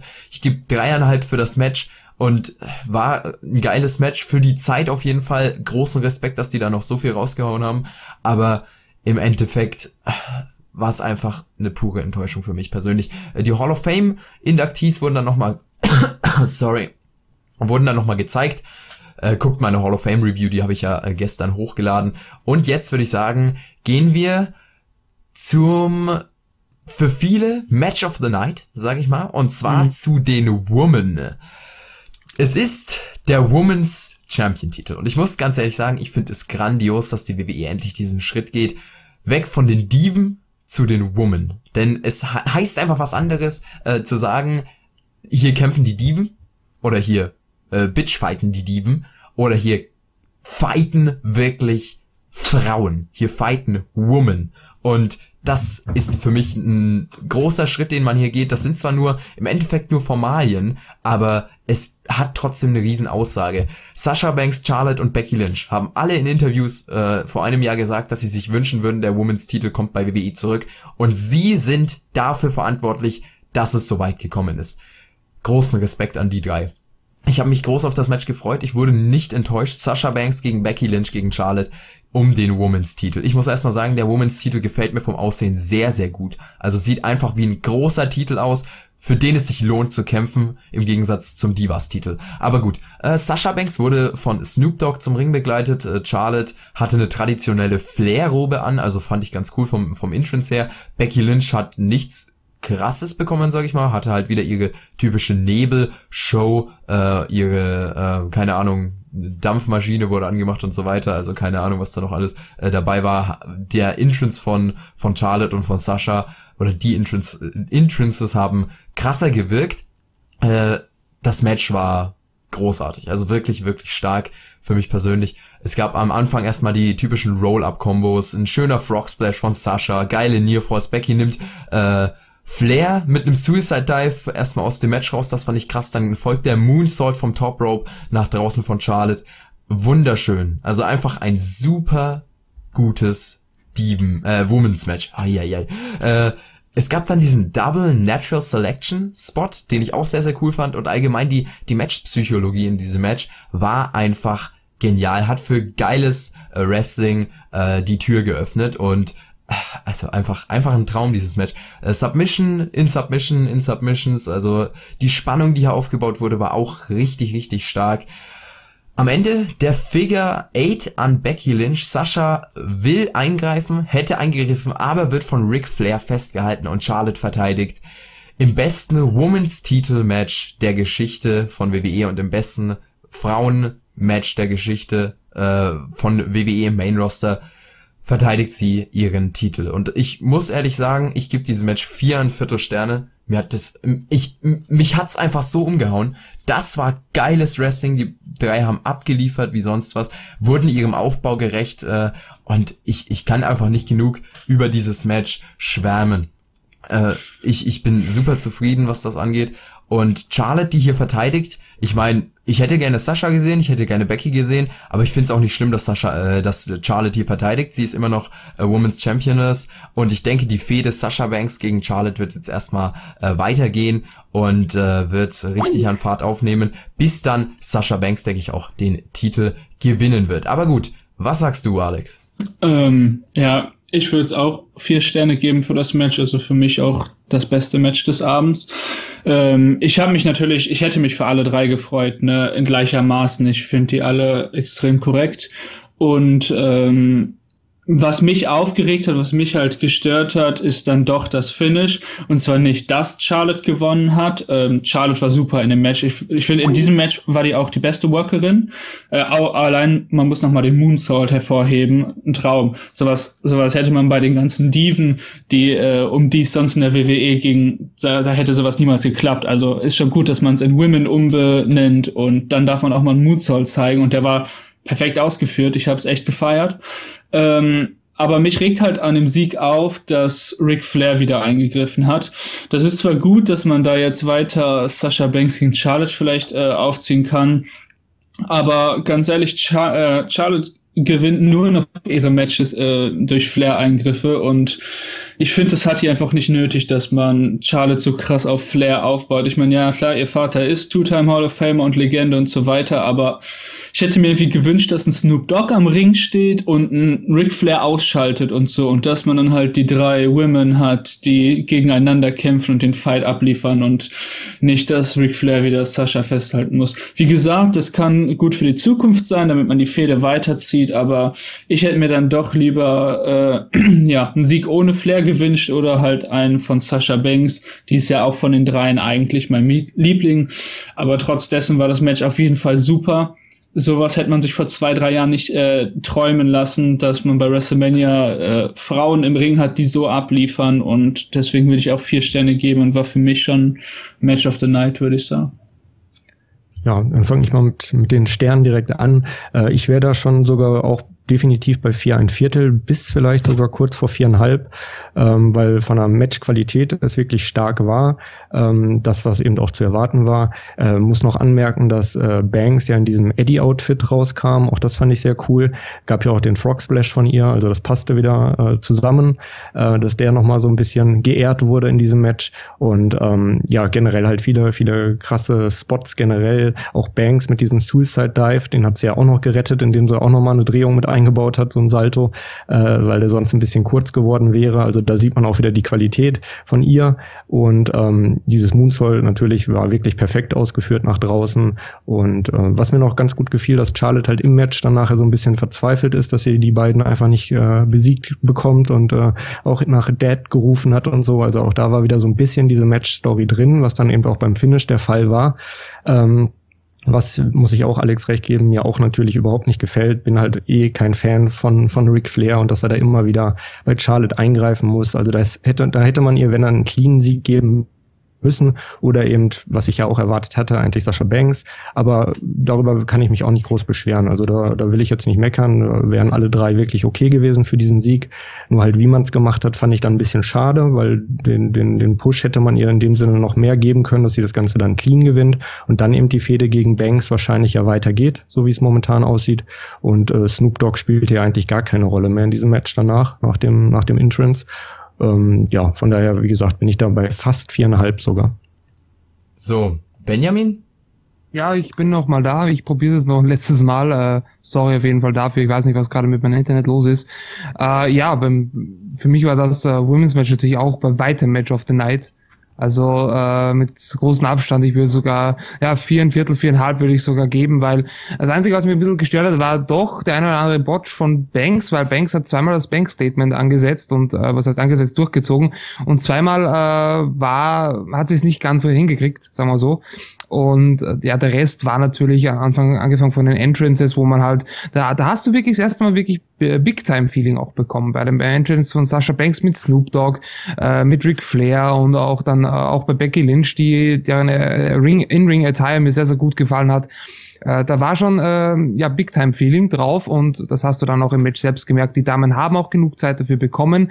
Äh, Respekt nochmal an die WWE dafür. Und ich bin zwar mit, äh, mit Charlotte jetzt nicht unzufrieden, wenn er sich unter Match mal eingemischt äh, hätte, jetzt mich nicht gestört, aber dass er dann wirklich so zum, zum Finish beitrug, äh, das ähm, hat mir doch ein bisschen äh, ja, sauer aufgestoßen. Äh, man kann das jetzt argumentieren, ja, dann zieht sie noch mehr Heat, aber für mich war das einfach dann schon too, äh, too much. Und ja, mal sehen, wie es dann jetzt äh, weitergeht. Im Übrigen finde ich den Gürtel auch äh, sehr, sehr schön und äh, ist auf jeden Fall eine, eine würdige Darstellung eines äh, Women's Championship Belts in meinen Augen. Auf jeden Fall. Also das kann man sagen. Mir gefällt der Titel auch sehr, sehr gut. Und an sich einfach ein wunderschönes Match. Guckt euch das an. Für mich übrigens das beste Main Roster Diven bzw. Frauenmatch der Geschichte. Für mich auch. Okay. Dann ja. Sehe ich äh, auch so. Also ich habe bisher zumindest kein besseres gesehen. Ich habe natürlich nicht jedes gesehen, aber äh, ich war super positiv überrascht. Und ich denke, die drei haben das getan, was wir von ihnen erwartet haben und dafür größten Respekt. Ich äh, muss echt sagen, dass, dass mir das Herz aufgeht, wenn ich die drei hier sehe. Äh, und das klingt jetzt vielleicht ein bisschen kitschig, aber äh, dann ist es halt so. Genau, das war's zu den Frauen der Women's Titel auf jeden Fall hier am Start. Wir finden den Titel super und äh, das ist eine super Entscheidung gewesen. Mal sehen, wie es weitergeht. Wir tippen wahrscheinlich alle auf eine Sasha Banks gegen Charlotte Fehde, die hier weitergehen wird und ich denke, äh, Sasha Banks wird sich dann im Laufe von dieser Fehde auch den Titel sichern. Jetzt zum kontroversesten Teil der Show das Hell in a Cell Match zwischen Shane McMahon und dem Undertaker. Shane McMahon hat beim Entrance von ihm äh, seine Kinder mit zum Ring gebracht. Äh, Undertaker hatte einen sehr epischen Entrance, einer der epischsten äh, Taker Entrances, den ich bisher gesehen habe. Also die Atmosphäre, diese Lichtshow, das war einfach komplette Gänsehaut, das war WrestleMania würdig, das war Undertaker würdig und mich hat's einfach komplett umgehauen. Das war sehr, sehr geil. Äh, ich hatte Big-Time-Feeling bei diesem Match. Ich, ich war komplett drin emotional und das war wahrscheinlich auch der Grund, warum ich persönlich ein Befürworter dieses Matches bin. Es ist ja wirklich äh, bei diesem Match Pro und Contra. Es gibt Leute, die feiern es und es gibt Leute, die feiern es nicht. Viel dazwischen gibt es wahrscheinlich wirklich nicht. Am Anfang der Schlagabtausch, äh, der Triangle, der Last Ride, Chokeslam auf die Steel Steps und so weiter, Hell's Gate in den Sharpshooter, Coast to Coast, einfach ikonisch gewesen und man hat hier die Anfangsintensität auf jeden Fall schon mal aufgebaut. Es war diese, diese pure Intensität, die man gespürt hat. Äh, der ähm, Shane holt dann eine Zange raus, schneidet die Zellen ein bisschen auf und dann geht der Spinebuster durch die Zelle durch und da dachte ich mir dann schon, Alter, jetzt geht es rund. Pure Intensität, wirklich. Also äh, ich, ich war komplett da drinnen. Ich, ich habe diese Atmosphäre in mich aufgesaugt und war einfach sehr, sehr überrascht, dass die beiden durch, durch ihre bedachte, durch ihr bedachtes Match-Tempo, sage ich mal, so eine unglaubliche Intensität, so eine Epicness und so eine Atmosphäre aufbauen konnten. Äh, der Sleeper von Shane kam dann außerhalb des Matches, beide fliegen durch den Tisch. Der Undertaker liegt auf dem anderen Kommentatorentisch. Äh, übrigens, was ich noch erwähnen wollte, die, die deutschen Kommentatoren waren ja irgendwie ein bisschen Ziel von, von den ganzen Workern hier an diesem Abend. Die haben ja ständig irgendwas abbekommen und die selber ihnen fast draufgeflogen und so weiter. Fand ich alles sehr, sehr lustig, äh, hier Schäfer und Hackel zu sehen, wie sie ständig am Ausweichen waren. Ach ja, das war schon sehr, sehr amüsant. Aber gut, Undertaker liegt, wie gesagt, auf dem Kommentatorentisch. Shane geht nach oben auf die Zelle. Atmosphäre pur. Also ich war wirklich gebannt vor äh, dem, dem Fernseher gesessen und habe das so krass äh, einfach in mich aufgesogen. Diese ganze Atmosphäre und ich, ich war da so drin, emotional komplett mitgenommen. Shane McMahon blickt nach unten und springt. Der Taker weicht aus und Shane kracht durch den Tisch. Was für ein unglaublicher Moment. OMG. Ich habe nichts als Respekt für Shane McMahon.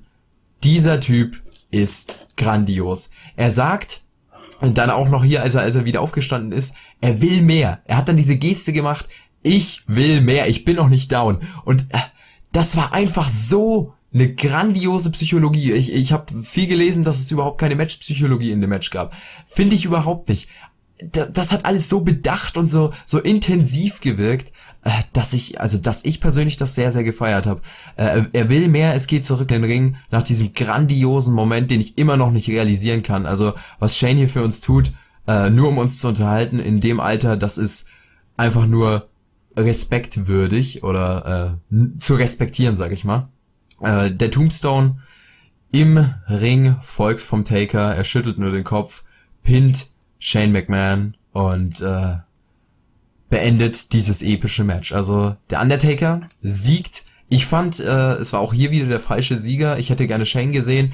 Äh, Im Endeffekt hat er jetzt nicht die Kontrolle über Raw, man hat die Vorfreude aufgebaut, die dann im Endeffekt ein bisschen enttäuscht wurde, aber der Undertaker siegt und ist damit nicht hier bei seiner Rest letzten WrestleMania gewesen. Und Shane kam einfach zurück, um uns zu unterhalten. Das wurde mir hier jetzt klar. Und das hat mir auch nochmal ein bisschen was in meinem Kopf an, an, an, an einer Dimension geöffnet, sag ich mal, weil wir haben alle so spekuliert, was, was passiert, wenn Shane äh, die Kontrolle über Raw bekommt. Im Endeffekt hat er die nicht bekommen. Er kam einfach nur zurück, um uns zu unterhalten und zeigt dann so einen krassen Spot, den er eigentlich nicht zeigen muss, den wir zwar in gewisser Weise schon erwartet haben und ohne den wir enttäuscht gewesen wären, aber es ist einfach kaum zu realisieren, wie viel Respekt ich für Shane McMahon habe und auch für den Undertaker, der hier natürlich nicht der Man of the Match war, ganz klar, aber der trotzdem äh, hier auch seinen Beitrag geleistet hat. Und ich hoffe trotzdem, dass die Authority bald beendet wird. Es war für mich eins der emotionalsten Matches, äh, die ich äh, je erlebt habe. Und respektiere Shane McMahon so krass und die beiden, dass sie in diesem Alter mit fast 100 Jahren insgesamt, äh, wenn man beide zusammenzählt, noch so eine krasse Match-Story erzählen und, und so eine krasse Intensität und Epicness in Match bringen, so einen Spot zeigen. Es wurde hier einfach Geschichte geschrieben. Es war ein episches, geniales, intensives Match. Und das spaltet natürlich die Meinungen, aber ich rede hier nur von mir persönlich. Ich äh, verstehe auch, wenn Leute sagen, ja, äh, oder ich verstehe es nicht, wenn Leute sagen, ja, es war ein scheiß Match. Aber äh, ich meine, die Meinungen gehen halt auseinander. Äh, für mich persönlich äh, hat's mich, es hat mich mitgenommen. Es war super intensiv, es war episch und ich gebe dem Match viereinhalb Sterne. Okay, also du sagst, ja, du sagst erstmal, ähm, Shane kriegt ja jetzt Raw doch nicht. Ich denke doch, dass Shane Raw bekommt, weil mir, mir schoss direkt in den Kopf, dass man ja vor ein paar Wochen, dass Shane diese, diese Kiste doch erwähnt hat, die der von seinem Vater hat, wo anscheinend oh, irgendwas Schlimmes stimmt. drin ist. Und im Endeffekt hat die WWE das total fallen gelassen. Ich dachte so, yo, haben die mal wieder ihre eigenen Scripts vergessen und so, man kennt es ja von denen. Aber vielleicht hat es ja noch was damit auf sich, dass man jetzt Taker den Sieg gibt in diesem epischen Match und trotzdem Shane die Macht gibt, aber naja, das werden wir halt sehen. Zum Match selbst, ähm, ja, ich, ich finde, man hätte schon so knapp zehn Minuten davon streichen können, weil die Anfangsphase war schon ein bisschen low. Aber ich bin trotzdem einer der Typen, die, die, die, die das Match ach, keine Ahnung, ich kann nicht mehr reden, ist zu früh am Morgen. Äh, ich bin eine der Personen, die das Match gefeiert haben, auf jeden Fall. Ähm, ich fand auch die Psychologie darin nice. Also die, die ganze Story darum, dass Shane einfach, äh, einfach immer weitermacht und ja, ich, ich war einfach drin, ich hatte einfach das Feeling, es waren einfach schon ein paar Gänsehautmomente. Auch einmal hat Shane den Undertaker gepinnt und erst mit seinem schnellen äh, Aufstehen einfach aus dem Pin rausgekommen und so. Und ich fand das Match einfach geil. Es war natürlich technisch nichts, ähm, aber das hat auch keiner erwartet. Wir wollten ein paar krasse Spots sehen. Äh, es war auch klar, dass es in einem ziemlich langen Match nur wenige Spots werden, aber die hatten es immerhin in sich, ja. Und ich hatte einfach das Feeling, ja, und das, es hat mich unterhalten, auch wenn es zwischendurch ein bisschen lange war. Trotzdem fand ich es ein richtig geiles Match. Ähm, ich kann den nur so krass viel Respekt zollen. Ich hoffe einfach, Shane hat sich nicht zu krass verletzt bei dem Spot. Ähm, und ja, mein, mein allergrößter Respekt. Ich fand das Match gut. Ich würde jetzt einfach mal dreieinhalb Sterne geben. Also viereinhalb finde ich schon krass übertrieben. Dreieinhalb Sterne, weil äh, kein, weil ich drin war im Match und wegen der kranken Spots, aber wenn man das jetzt auf technischer Ebene oder so, darf man das einfach nicht betrachten. So. Soll man ja auch nicht. Also finde ich absolut falsch zu sagen, äh, man geht hier von der Matchtechnik aus, weil es für mich Nein. einfach die Atmosphäre war und die, die Emotionen, die mich mitgerissen haben, dass ich dem Ganzen halt viereinhalb gebe. Und dieser unglaubliche Spot, also ich gehe da echt von meinen Emotionen aus und nicht irgendwie von der Match äh, von Eben, äh, deshalb äh, ja auch deshalb ja auch dreieinhalb Sterne und nicht zwei oder so, weil weil ich einfach auch drin war. Weißt ja. du? So, dann muss ich hier anscheinend mal den Heal spielen. Äh, ich fand das Match eher kacklangweilig bis zum Spot, sage ich ganz ehrlich. Äh, die ersten zehn Minuten waren, gab es gefühlte sechs, äh, sechs Moves, drei von jeweils dem einen. Es gab ein äh, Elbow von Shane, es gab da mal ein Last Ride, es gab ein Chokeslam vom Taker und dann gab es halt auch diesen Move dann, äh, dann äh, aus dem Käfig dann auch bald mal raus. Und dann gab es auch noch einen Kommentatorentisch, so ein Slam, das war alles recht und schön, aber bis dahin sind auch dann schon wieder 20 Minuten vergangen. Und erst die letzten 10 Minuten, als dann dieses, dieses, diesen wirklich fetten Spot gab, und dafür muss ich auch Schemik meinen, meinen allerhöchsten Respekt zollen, äh, diese Eier zu haben in diesem Alter vor seinen Kindern wohlgemerkt, äh, das ist schon äh, was, was. Es war für mich wahrscheinlich einer der, der größten WrestleMania-Moments, die ich je live äh, beiwohnen durfte. Das steht außer Frage, äh, ohne jetzt das Match hier zu schlecht zu reden zu wollen. Man muss das ja immer differenzieren. Also äh, was Shane hier dann äh, bei diesem Bump hier geleistet hat, war absolute Weltklasse. Also das will ich hier bei weitem nicht schlecht reden. Äh, dennoch hat mich das Match einfach irgendwo nicht. Es hat mich nicht äh, geflasht. Ich weiß nicht, woran es lag. Äh, war es einfach die doch zu langsame Anfangsphase. Ähm, Alex hat schon gesagt gesagt, zehn Minuten weniger hätten im Match, glaube ich, auch ganz gut getan. Und äh, deswegen, ähm, nachdem es ja doch so einen wirklich extrem langsamen Aufbau in diesem Match gab, äh, kam ich auch nie wirklich in das Match rein. Ich, ich hab, hatte da nicht so die Emotionen, weil ich jetzt vielleicht jetzt nicht wieder Jonathan so der große Undertaker-Fan bin. Es war bei mir, es war bei mir nie, nie so die die, die Undertaker-Matches, die mich da überzeugt haben, wo natürlich sehr, sehr viele bei Mania sehr, sehr krass waren. Aber so ein richtiger Fan vom Taker war ich persönlich nie. Äh, und äh, das kann natürlich auch ein Grund sein, warum mich das Match einfach jetzt nicht ganz so äh, geflasht hat. Der, Hauptgrund liegt aber hier definitiv an der sehr, sehr langsamen und behäbigen Anfangsphase, meiner Meinung nach.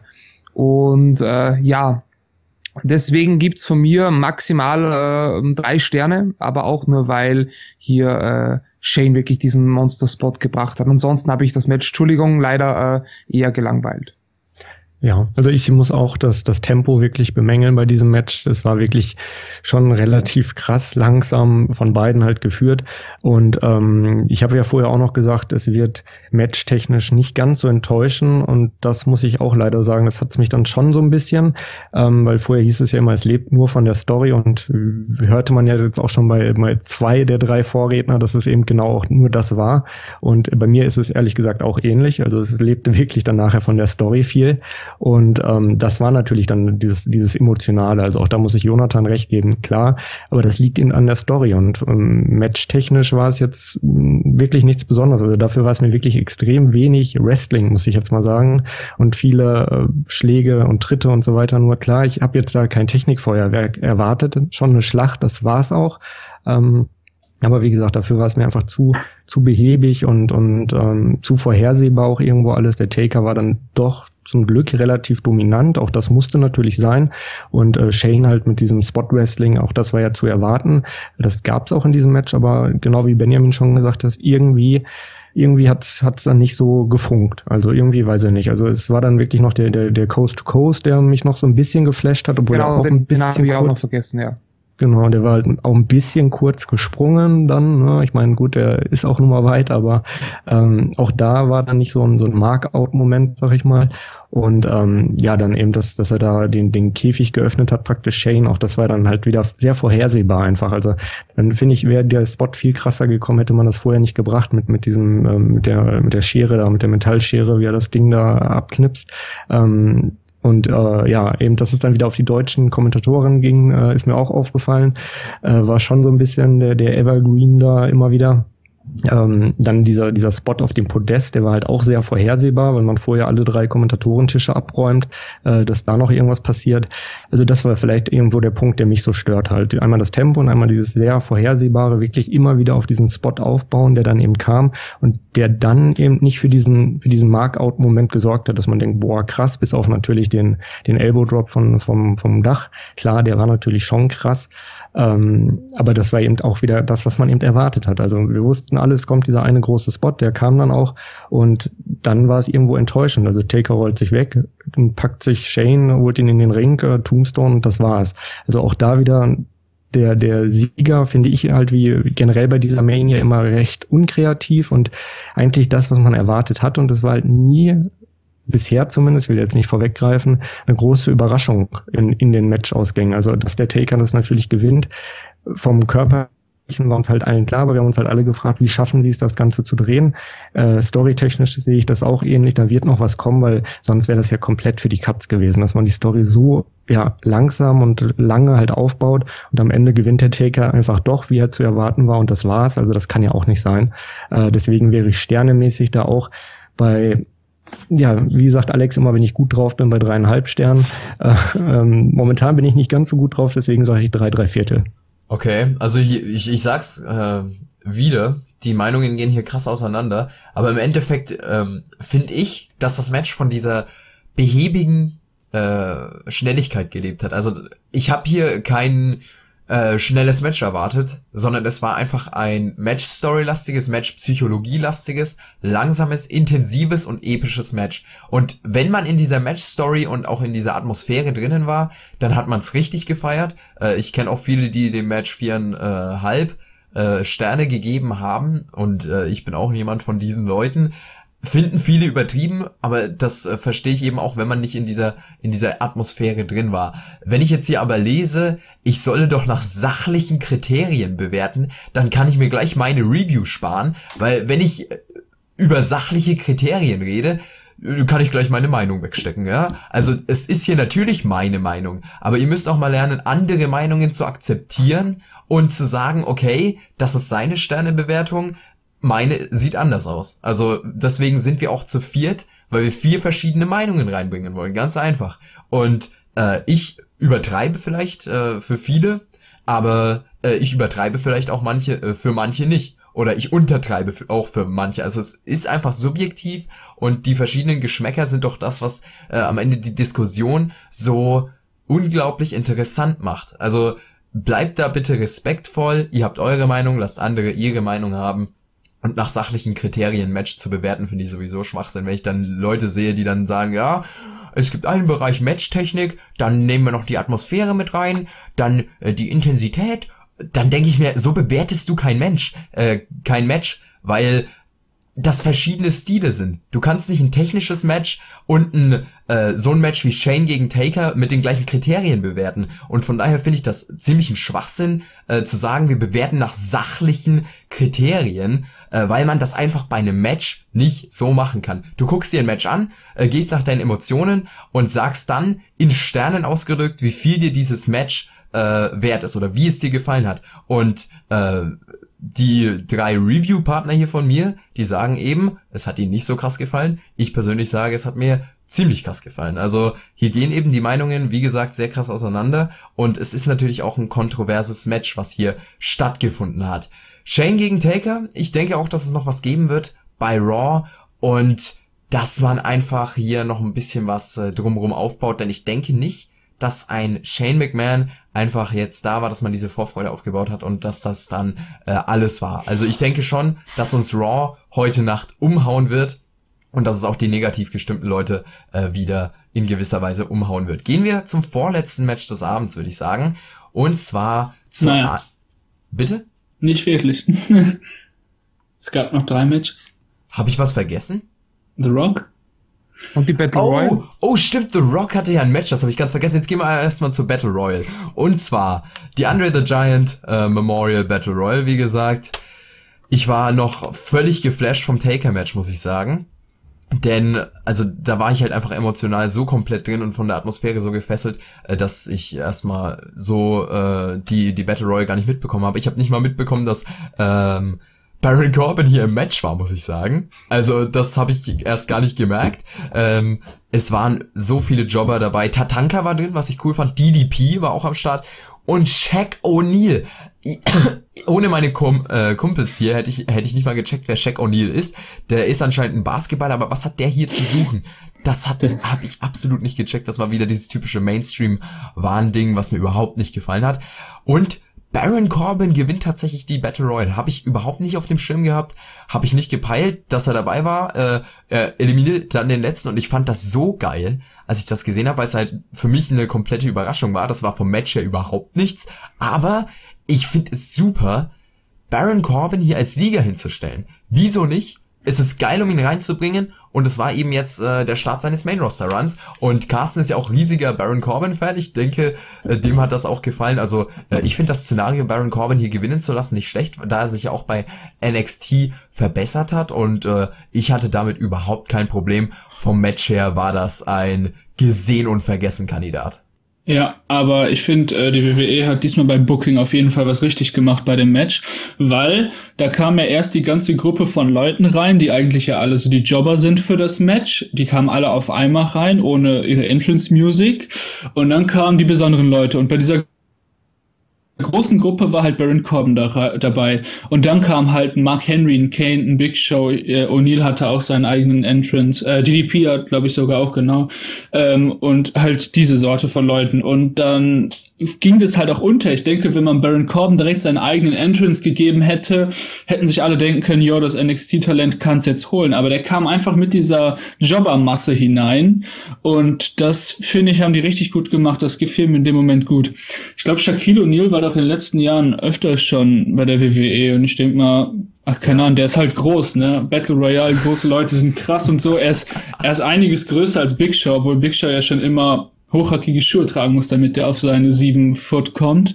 Ja, und ähm, keine Ahnung, das, das hat mich aber jetzt nicht so gejuckt. Ich fand es einfach nur geil, dass Baron Corbin gewonnen hat. Ich war ja eigentlich nie so der Fan. Ich finde aber in den letzten Wochen hatte er sich eigentlich echt gut gemacht, so was bei NXT abging, gefiel der mir eigentlich immer besser und ähm, für sowas ist die Battle Royale da, auf jeden Fall. Letztes Jahr Big Show gewonnen, fand ich ja lächerlich, habe ich mich noch in der Preview aufgeregt. Und dass jetzt einfach so ein frisches NXT-Talent gewonnen hat, fand ich genau passend. Und äh, deswegen fand ich es vom Booking richtig. Die Battle Royale war, wie man sich schon denken könnte, natürlich nichts Besonderes. Und naja, aber darum ging es auch nicht. Es ging darum, was, was daraus entstanden ist. Ne? Ja, also ich fand die Battle Royale an sich vom Match natürlich auch eher ja, 0815, also Standard. Aber äh, das war wirklich, glaube ich, das einzige Mal an dem Abend, wo die WWE äh, was richtig, um nicht fast schon zu sagen, perfekt gebuckt hat. Denn Corbin war ja einfach unscheinbar in dem Match und hat dann eben zum Schluss äh, opportunistisch, wie er halt dann war, einfach die perfekte Gelegenheit ausgenutzt, äh, auch um seinen Heel-Charakter nochmal darzustellen und äh, hat dann wirklich die Battle Royale gewonnen und äh, hat doch wirklich viel, viel Pops auch bekommen. Also es gab ja auch dann NXT-Chance und genau so bringst du Leute von NXT ins Main Roster mit gleich direkt mal mit dem Push. Und dem, dementsprechend habe ich es überhaupt nicht schlimm gefunden, dass hier Aries dann bei, bei Takeover Dallas ja Baron Corbin besiegt hat, weil so hat der Corbin wieder seinen Status relativiert und äh, ist jetzt wirklich ähm, Sieger der Battle Royale, kann sich mit dieser Trophäe gleich mal hier äh, brüsten und vielleicht sehen wir auch gleich bei der Raw nach Mania mehr von ihm, vielleicht eine Promo oder so und äh, genau so bringst du wen ins Main Roster und bringst ihn automatisch over und hast sofort äh, den Fokus auf ihn, weil du gerade auf, auf der größten Bühne von der WWE Main Shows wirklich alle Leute ihn gesehen haben und sie wissen, oh, da hat ein neuer die, die Battle Royale gewonnen, auf den müssen wir aufpassen. Das war vom Booking her eigentlich nahezu perfekt und äh, nochmal hier vom, vom Booking-Standpunkt selbst äh, die beste Entscheidung bei dieser Mania. Ja, also sehe ich ähnlich, hat mich natürlich sehr gefreut, wie Jonathan schon angedeutet hat, äh, war auch wirklich überrascht, also hätte ich echt nicht gedacht, äh, hat mich dann auch gefreut, äh, wo ich ihn überhaupt äh, erblickt habe im Match, wie so einige halt, also selbst den Kommentatoren äh, sind ja da viele erst mitten im Match aufgefallen, wer dann doch alles dabei war, überraschenderweise. Ähm, und ja, diesen, diesen ganzen Spot mit, mit Big Show und äh, Shaquille O'Neal da und ähm, auch Kane spielt ja dann am Anfang da eine Rolle. Das war halt das, was man zu erwarten hatte. War dann halt auch froh, dass das Ganze relativ zügig von allen eliminiert wurde. Also sprich Big Show und Shaquille äh, wird wahrscheinlich da auch irgendwie eine hochinteressante Story werden, die da weitergeht für uns alle. Ähm, ja, ansonsten Social Outcast hatten ihren Spot mit ihrer Siegerrunde, bevor sie dann eben doch eliminiert wurden von Henry, den ich auch irgendwie lange Zeit Zeit im Match überhaupt nicht mehr gesehen hatte. Ähm, der hat dann auch leider eben meinen Tipp Tyler Breeze doch rausgeworfen. Und ähm, dann dachte ich halt schon, okay, jetzt geht man halt doch diese Richtung, dass man ihnen hier das Abschiedsgeschenk gibt. Wurde es dann eben doch nicht. Dann dachte ich, okay, jetzt ziehen sie es eiskalt durch und geben Kane den Sieg bei der Geschichte. Und dann habe ich mich halt dann doch noch über dieses Match gefreut in dem Sinne, weil klar, Match qualitativ hat man da jetzt nicht zu erwarten. Das ist auch eine Battle Royale Nummer nicht dafür da. Ähm, aber über den Sieger freue ich mich und hoffe dann, ähm, dass dieses überraschende Main Roster Debüt jetzt für Corbin ja erfolgreich weitergeht, dass man das Ganze ein bisschen aufzieht damit und ähm, er eben auch sein, sein Heel-Gimmick eben darüber ein bisschen mehr definieren kann äh, für das Main-Publikum. Genau. Also ich hoffe einfach, dass die WWE es nicht verpasst, mit Corbin einen neuen Midcard-Star aufzubauen. Ich denke, Corbin ist in der Midcard ganz gut aufgehoben. Er ist jetzt nicht super talentiert oder so. Ich sehe ihm auch in ihm auf keinen Fall einen Main-Eventer oder so. Ähm, aber er hat sich verbessert und ich denke, dieser Lone Wolf Charakter hat Potenzial. Wenn man da jetzt ein bisschen was mitmacht, finde ich das nicht schlecht. Äh, und äh, Carsten feiert den natürlich ab. Ich finde ihn jetzt äh, nicht so prickelnd, aber hat man hier ganz gut gelöst, denke ich. Und jetzt äh, kommen wir zu einem Segment, was äh, auf jeden Fall teilweise sehr Facepalm-würdig war, fand ich. Ähm, ja gut, erstmal kam natürlich Cheer Cheerleader raus. Man gönnt sich ja sonst nichts. Irgendwelche aus Texas waren natürlich alle super hübsch, aber Warum bitte? Warum waren da jetzt Cheerleader? Das check ich noch nicht so ganz. Okay, uh, The Rock kam dann raus. War halt natürlich zu erwarten, dass The Rock kommt. Er spielt mit einem Flammenwerfer rum, hat alles ganz cool gewirkt, aber diese Zeit, die der bekommen hat, da dachte ich mir echt, WTF, der hat eine halbe Stunde von der Show bekommen, ne? Eine halbe Stunde. Das hättest du in 10 Minuten abhandeln können, maximal, und hättest dann einfach aus Lesnar und äh, ähm, Ambrose ein halbe, halbstündiges äh, Streetfight-Match machen können. Aber nein, man hat das Zeitmanagement einfach so schwachsinnig gestaltet. Ich kann es einfach nicht anders sagen. Ähm, er kündigt an, dass 101.763.000 äh, Zuschauer waren, glaube ich, waren es, glaube ich, äh, da waren und damit der All-Time Attendance Record von WrestleMania gebrochen wurde. Ähm, das ist jetzt so die Frage. Also Brian Alvarez vom Wrestling Observer hat gesagt, dass tatsächlich nur 85.000 in der Halle waren, dass WWE hier sehr krass äh, gelogen hat mal wieder, aber das mag ich jetzt noch nicht zu beurteilen. Ich habe nur eine Quelle und das ist Brian Alvarez und ähm, von daher ist das noch nicht äh, irgendwie groß bestätigt oder so. Von daher, wir gehen jetzt einfach nur mal davon aus, dass es plus 100.000 waren und ähm, Finde ich auf jeden Fall cool. Die WWE hat es quasi geschafft. Im Endeffekt will Rock dann gerade weiterreden und ich dachte mir schon, bitte nicht, Alter. Bringt jetzt einfach den Main Event und äh, beendet diese Show.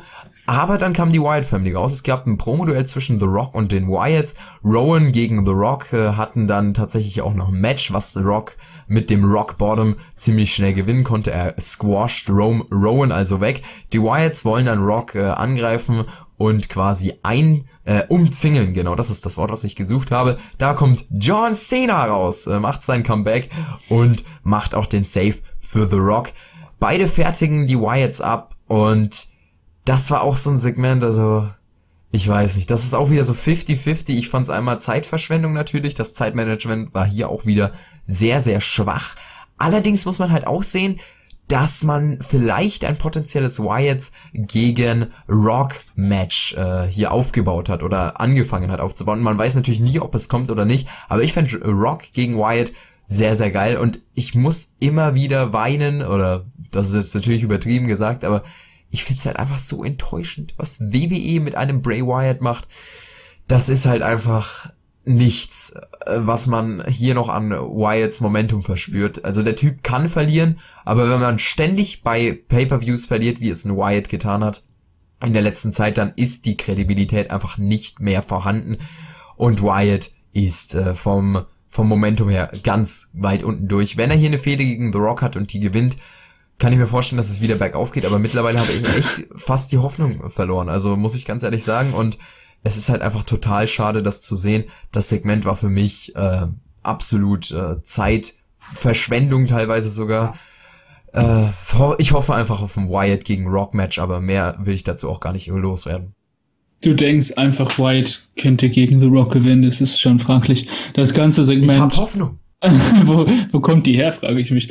Äh, das ganze Segment fand ich relativ fraglich. Ja, The Rock muss auch unbedingt den Flammenwerfer rausholen. Ich meine, ich feiere The Rock, ich mag die Filme, ich mochte ihn als Wrestler, ich fand ihn cool, der hatte coole Matches, ja, schön und gut. Naja, die klassische Promo, dass er sagt, wie toll alle Menschen um ihn rum sind, dass alle da sind, ne, ist mir auch relativ schnuppe, wenn er nicht so viel Zeit verschwendet hätte. Dann kam aber zwischendurch der Punkt, als Bray Wyatt rauskam, wo ich dachte, oh shit, das könnte jetzt sogar gut werden, weil bringt The Rock ihn etwa ein bisschen over. Er fing an von wegen, ja, Bray, du hast alles, du hast die äh, In-Ring-Ability und guck mal, gerade haben einfach 100.000 Leute ihre Handylichter extra für dich angemacht und so und ich so, ey, yo, er redet ihn ein bisschen gut. Das tut einem Bray Wyatt gut, wo er einfach so die letzten Jahre nur äh, geburied wurde, dauerhaft. Und worin endet es, dass Eric Rowan in sechs Sekunden gegen The Rock verliert? Ich erwähne kurz die Go-Home-Show von SmackDown. Da musste Dean Ambrose 15 Minuten lang alles geben, um einen Sieg gegen Rowan rauszuholen. The Rock braucht sechs Sekunden, ne? Wie gesagt, Rowan ist halt die, äh, die Bitch von der White Family, die sich immer hinlegen darf. Und ähm, fand ich schon mal unnötig, nur um noch einen Rekord zu brechen, als dann halt Cena rauskam, kommt natürlich das Déjà-vu. Ne? Cena hat ja schon mal auch irgendwo in Bray Wyatt noch mehr geburied und ja, die White Family wird abgefertigt, die White Family geht raus, die White Family steht, finde ich, noch schlechter da, als sie sowieso schon da standen und yay, Cena ist back, back, ich freue mich so doll und keine Ahnung, ich war enttäuscht. Und im Endeffekt war es dann halt irgendwie schon nach fünf. Es war irgendwie schon kurz nach fünf. Und ich dachte, ja, ihr wolltet bis fünf machen, hier fehlt noch ein Main Event. So, wie kann man so ein schlechtes Timing haben, Leute? Und ja, viel, viel zu viel Zeit verschwendet, nur um talentierte Leute zu buryen.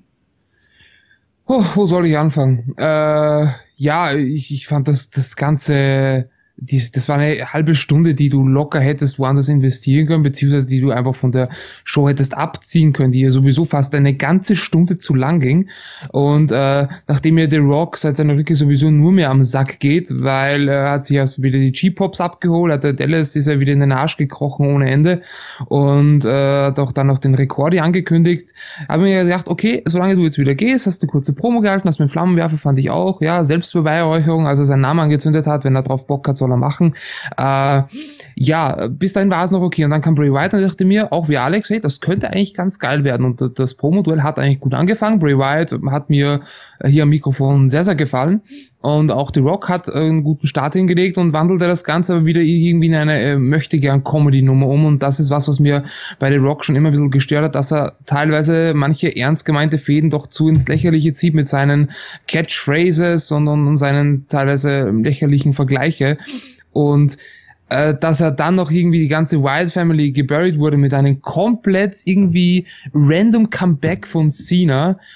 Du hättest den Cena so viel besser zurückbringen können, aber nur um einen weiteren, ja, äh, ich sage jetzt mal, feel good Moment zu haben, bringst du aber einmal Cena random zurück und, und du buryst einfach Bright und seine ganze Family noch mehr, als es eh schon war, nur um einen WrestleMania-Moment zu kreieren, der sowieso nur für mein, in meinen Augen Zeitverschwendung war. Also ein Cena, und wenn dann The Rock kommt und zehn Minuten redet, dann geht er wieder, alles okay.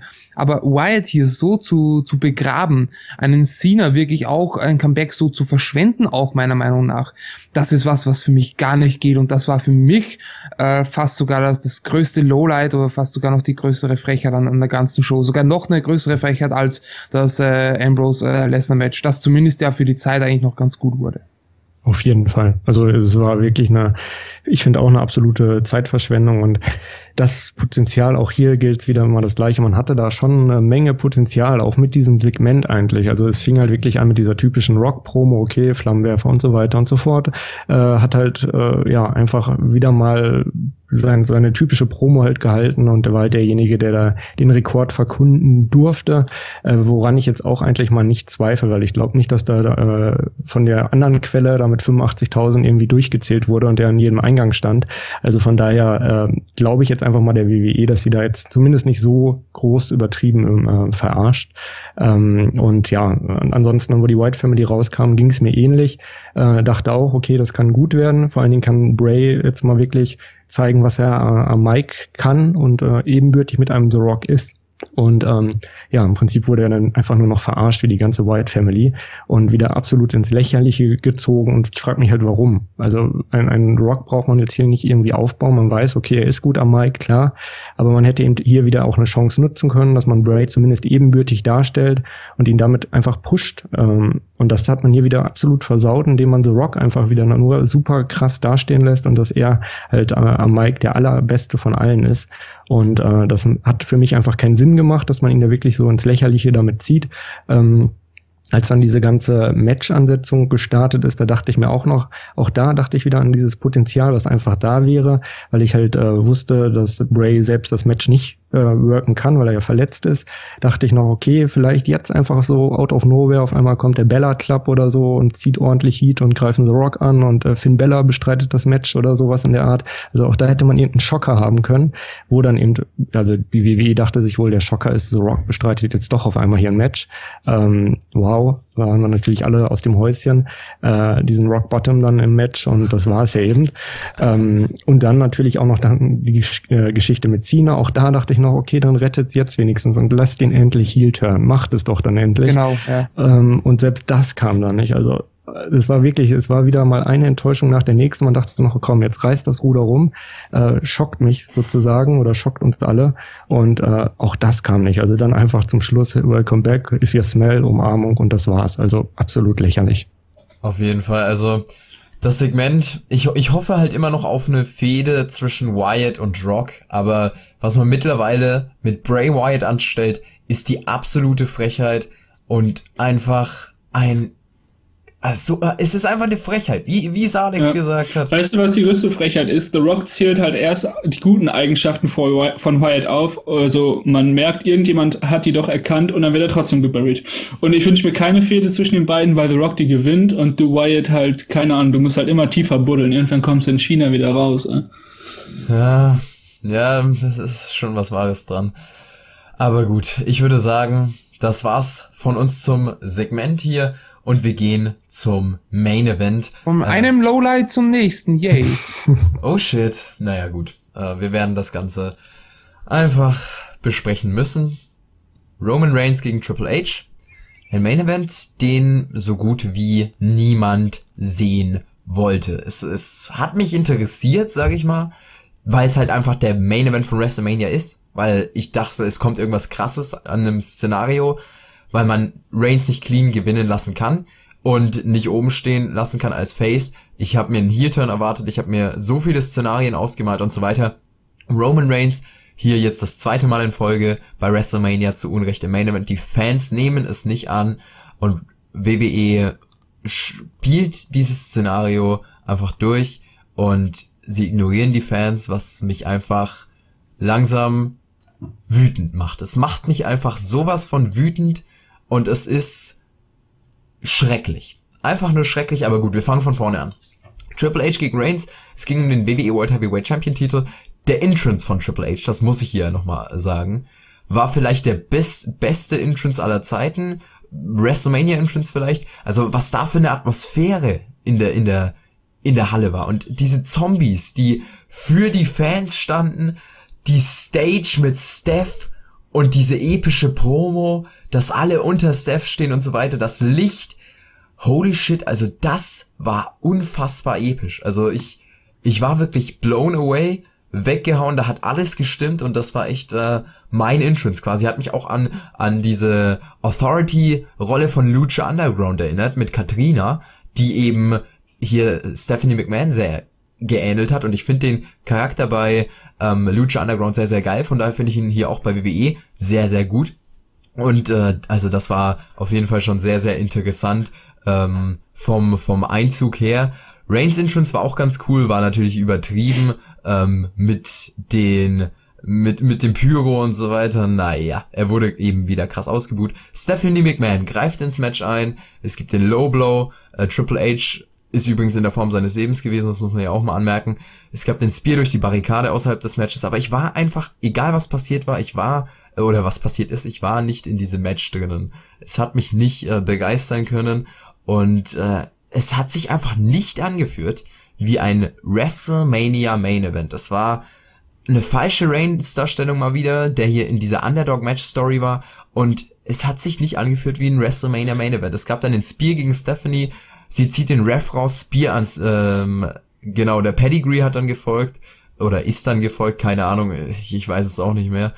Ach, Im Endeffekt gab es hier wieder den Kickout, ein weiteres Spear von Reigns und er gewinnt den WWE-Titel. Und ich war einfach nicht im Match. Ich dachte mir, das kann nicht wahr sein. Ich habe einfach nur noch, äh, ich fand es einfach lächerlich. Äh, ich habe nur noch gelacht und dachte mir, das kann eigentlich so nicht ihr Ernst sein. Und es ist ein vorhersehbares Scheißbooking, muss ich ganz ehrlich so sagen. Das Match war gut, von der, von der Qualität her war das Match gut, aber was man da schon wieder gemacht hat, das war vom Ende her absolut schrecklich und ein absolut dummer Booking-Move, das in den Main Event zu stellen. Es war am Ende trotzdem nicht so, wie Benjamin äh, das prophezeit hat, sondern es war tatsächlich im Main Event dieses Match und es war einfach falsch. Ich hätte genau wie Benjamin gesagt hat, äh, schon vor, vor drei Wochen äh, hat er das gesagt. Ich hätte es einfach äh, äh, hinter oder ich, ich hätte es vor Shane gegen Taker gestellt, weil Shane gegen Taker hat mich einfach umgehauen. Das Match war grandios und dann kommt so ein Main Event. Also, boah, es war die komplette Enttäuschung und es, also bei Raw muss was kommen. Ich kann nicht damit leben, dass Reigns hier einen Face Run bekommt mit dem Charakter, den er gerade hat. Das funktioniert nicht und die WWE kann ihre Fans nicht so ignorieren, wie sie es gerade tun, denn ich halte das für respektlos mittlerweile und ich fand das einfach nur von vorne bis hinten komplett lächerlich. Ähm, Im Endeffekt ist Reigns noch kein Face, oder? Ich meine, wenn 100.000 Leute dich ausbuhen und Vom dein Charakter Gegner, ja schon von den Reaktionen. dein Gegner bejubeln, kann man sowas nicht mehr offiziell Face nennen. Keine Ahnung. Also erstmal der Entrance von Triple H gefiel mir auch saugut, ja, war auf jeden Fall das Highlight an der ganzen Sache. Das Match ging einfach 27 Minuten, so das muss man sich einfach mal vor Augen halten für so ein Match, keine Ahnung, zweieinhalb Sterne oder so. Ähm, und ja, es war halt diese Standard-Story. Es ging mir auf den Sack. Ich war natürlich auch nicht im Match drin, lag halt unter anderem auch daran, weil man eh wusste, was passieren wird. Ich hatte zwar ganz Zeit, oh, ich hatte so Hoffnung, ne? Ich, ich habe ich hab mir ganz Zeit Sachen eingebildet, so Sachen gehofft, zum Beispiel nach dem Spear gegen Steph, wie ich einfach gebetet habe, dass Triple H anfängt, auf Reigns einfach nur einzuprügeln oder irgendwelche Waffen rausholt oder sowas. Sein, sein Hammer kam ja später und dann gar nicht zum Einsatz. Und boah, ich habe so Dinge einfach gehofft, aber im Endeffekt kam es so, wie es kommen musste, ne? Reigns total über overpowered, kriegt, kriegt was auf die Eier, ja, ähm, aber juckt ihn am Ende nicht und äh, ja, kriegt den Pedigree, juckt ihn aber am Ende auch nicht. Und gewinnt mit seinem zweiten Spear und das war einfach so kacke, es war so ein Lowlight. So ein Match überhaupt äh, zu einem WrestleMania Main Event zu machen, ist eine Frechheit. Ich meine, Triple H ist langsam auch ne, am Ende seiner, seiner Wrestling-Karriere angekommen vom Alter her und war auch in seiner absoluten Prime nie der beste Worker und ein Reigns ist halt auch ziemlich kacke im Ring und drumherum, weil das Gimmick gar nicht funktioniert und alles, äh, halt kein super Gesamtpaket. Und sowas in, äh, in den Main Event zu stellen bei WrestleMania finde ich echt schon schwach. Und ähm, ich fand halt geil, das Match ging los, ding, ding, ding. Und du siehst im Hintergrund, wie einfach ein paar Zuschauer aufstehen und aus der Halle rausgehen. Und ich konnte es einfach schon feiern, wie sie einfach gehen. Und ich denke, man hat auch schon gemerkt, dass am Ende die Roman Reigns Musik lauter als sonst abgespielt wurde und die Zuschauerreaktion ein wenig leiser als sonst abgespielt wurden. Auf jeden Fall, die ja, haben sie ähm, ganz klar. Haben die mal wieder krass dran rumgeschraubt, weil die sich nicht eingestehen wollen oder was auch immer. Und ich finde es einfach lächerlich, uns sowas anzubieten. Und es war einfach der Abschluss für eine Kack WrestleMania. Äh, ja, kann ich wirklich so unterschreiben. Es ist äh, boah, also 27 Minuten ging das Match. 10 Minuten weniger hätten es mal mindestens locker getan. Äh, es war ein wirklich grauenhafter Main Event vom, vom Match-Technischen selbst. Es gab bis auf äh, den Spear durch die Barrikade und den Spear gegen Steph, wo ich mal kurz so gesagt habe, okay, das, das ist geil, das war eine geile Aktion, das fahre ich ab. Vor allem, dass er Steph wirklich den, den Spear wie, wie ein Kerl, gesagt, genommen hat, weil Reigns hat er da schön durchgezogen, kann man durchaus so sagen. Das einzige Highlight äh, war nicht hier im Match, sondern vor dem Match Steph, weil nicht nur die Promo gut war, sondern wenn ich ein paar Jahre älter wäre, Leute, also die würde ich nicht von der Bettkante stoßen. Meine Fresse war die, die war, selbst, die, selbst wenn ich so alt bin wie jetzt. Die, die Ey, ohne Witz, aber wie, wie, ihr sprecht noch gar nicht den Entrance an. Also ich fand den Entrance einfach so episch. Ja, also da komme ich ja noch zu, Jonathan. Ich war ja noch nicht fertig. Also der, der, der, der, der Entrance war ja, wie du schon gesagt hast jetzt, er war, war ziemlich geil.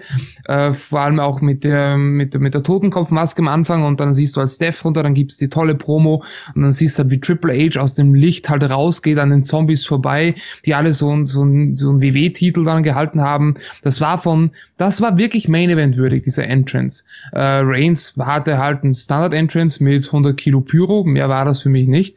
Und äh, ja, aber Match war eine Frechheit. Also es war noch schlechter als Triple H gegen Orton WrestleMania 25 und das war für mich schon ein sauschlechter Main Event. Also ich habe auch mit, noch nie wirklich mit Triple H äh, was anfangen können im Ring. In Singles Matches ist er mir zum Teil auch da irgendwie zu eintönig und in diesem Match hat sich das auch wieder hier äh, bestätigt. Die beiden haben auch äh, keine Chemie miteinander gehabt. Vielleicht hätten Stipulation noch ein bisschen aufgewertet, aber auch nur minimal. Und äh, das mit dem Sledgehammer, das war dann irgendwie komplett random. Da hatte man auch nie einen Bezug dazu. Klar, es ist das Spielzeug von Triple H, aber äh, das, das war's dann auch. Und dann gab's halt den Spear, dann wurde durchgezählt und äh, die Fans gingen halt schon äh, raus und es gab halt schallende Buhrufe und das, das ist ein, das ist von einem WrestleMania Main Event, das ist absolut unwürdig. Und äh, das bei Raw muss wirklich was kommen. Also da, da, ich habe ja schon in der Preview gesagt, äh, wahrscheinlich enttäuscht uns die WWE wieder und sie fährt wirklich den billigsten, einfachsten und auch den enttäuschendsten Weg, äh, nämlich dass der Taker einfach gewinnt. Mal schauen, vielleicht gibt's bei Raw da noch was als Konsequenz oder auch nicht, äh, dass äh, das Lesnar einfach Ambrose zerstört. So ist es ebenfalls auch eingetroffen und auch Reigns gewinnt in einem absolut langweiligen Match hier ganz clean den Titel und die Show geht off air. Also äh, die WWE äh, hat uns äh, nur da überrascht, wo es nicht wirklich nötig gewesen wäre, nämlich beim IC Ladder Match, beim Jericho Styles. Und äh, bei den anderen Matches war eigentlich der Ausgang irgendwie vorher schon, schon klar oder war zumindest langweilig. Und äh, man hätte es einfach genau umdrehen müssen. Also ich verstehe nicht, was die WWE dazu geritten hat, so eine Frechheit an WrestleMania wirklich anzubieten. Und ich muss sagen, äh, ich bin wirklich pisst. Das war ich schon lange Zeit nicht mehr nach einer Mania oder generell nach einem Pay-Per-View. Aber das war für mich eine absolute Frechheit und äh, für mich war generell die Mania gesamt gesehen einer der schlechtesten der letzten, wenn nicht sogar die schlechteste der letzten 15 Jahre. Ja, also, komm. ich finde sowieso, dass sich viele jetzt wegen diesem schrecklichen Ende runterziehen lassen, aber dazu. Wieso? Ich fand die gesamte Mania nicht gut, sage ich dir ganz ehrlich. Ja, aber das ist alles Stimmungssache. Ich sag's, äh, ich sag's am Ende, aber jetzt erstmal Cast. Oder? Ja, also ich fange auch erstmal mit dem Guten hier an von diesem Main Event, dem Entrance von Triple H und Steph.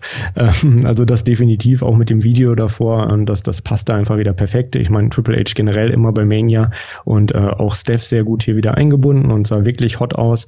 Ähm, deswegen, das war wirklich geil gemacht und ich war auch da wirklich immer noch dann oder ja, gehypt auf dieses Match. Ich hatte einfach auch hieran an diesem Match Erwartungen und ähm, auch dann auch den, den Reigns äh, Entrance dachte ich mir auch noch, okay, komm, dann treibt es auf die Spitze, ne? das gehört alles dazu, so habt ihr es bisher immer gemacht und jetzt kommt irgendwas. Die, das ganze Match eigentlich über habe ich das gedacht, weil ähm, es war halt wieder so eindeutig, Triple H wieder mit ordentlich Pops äh, am Anfang vom Match und Roman Sucks, Chance und so weiter und so fort. Also es war wirklich alles für mich eindeutig, dass es wirklich so ein bisschen auf die Spitze getrieben wird und die ganze Zeit habe ich eben drauf gewartet und es passierte eben nichts. Ähm, mitten im Match halt auch wieder hier die deutschen Kommentatoren mittendrin, äh, mal wieder, wie an diesem Abend so häufig, ähm, wurde Reigns ein paar Mal über das Pult geschmissen. Ähm, ja, also das war auch wieder ein bisschen auffällig und äh, ansonsten war es halt wirklich genau das, was man ja, befürchtet hat, was man in dem Punkt negativ erwartet hat. Und deswegen dachte ich die ganze Zeit, das ganze Match über, okay, jetzt kommt irgendwas, jetzt kommt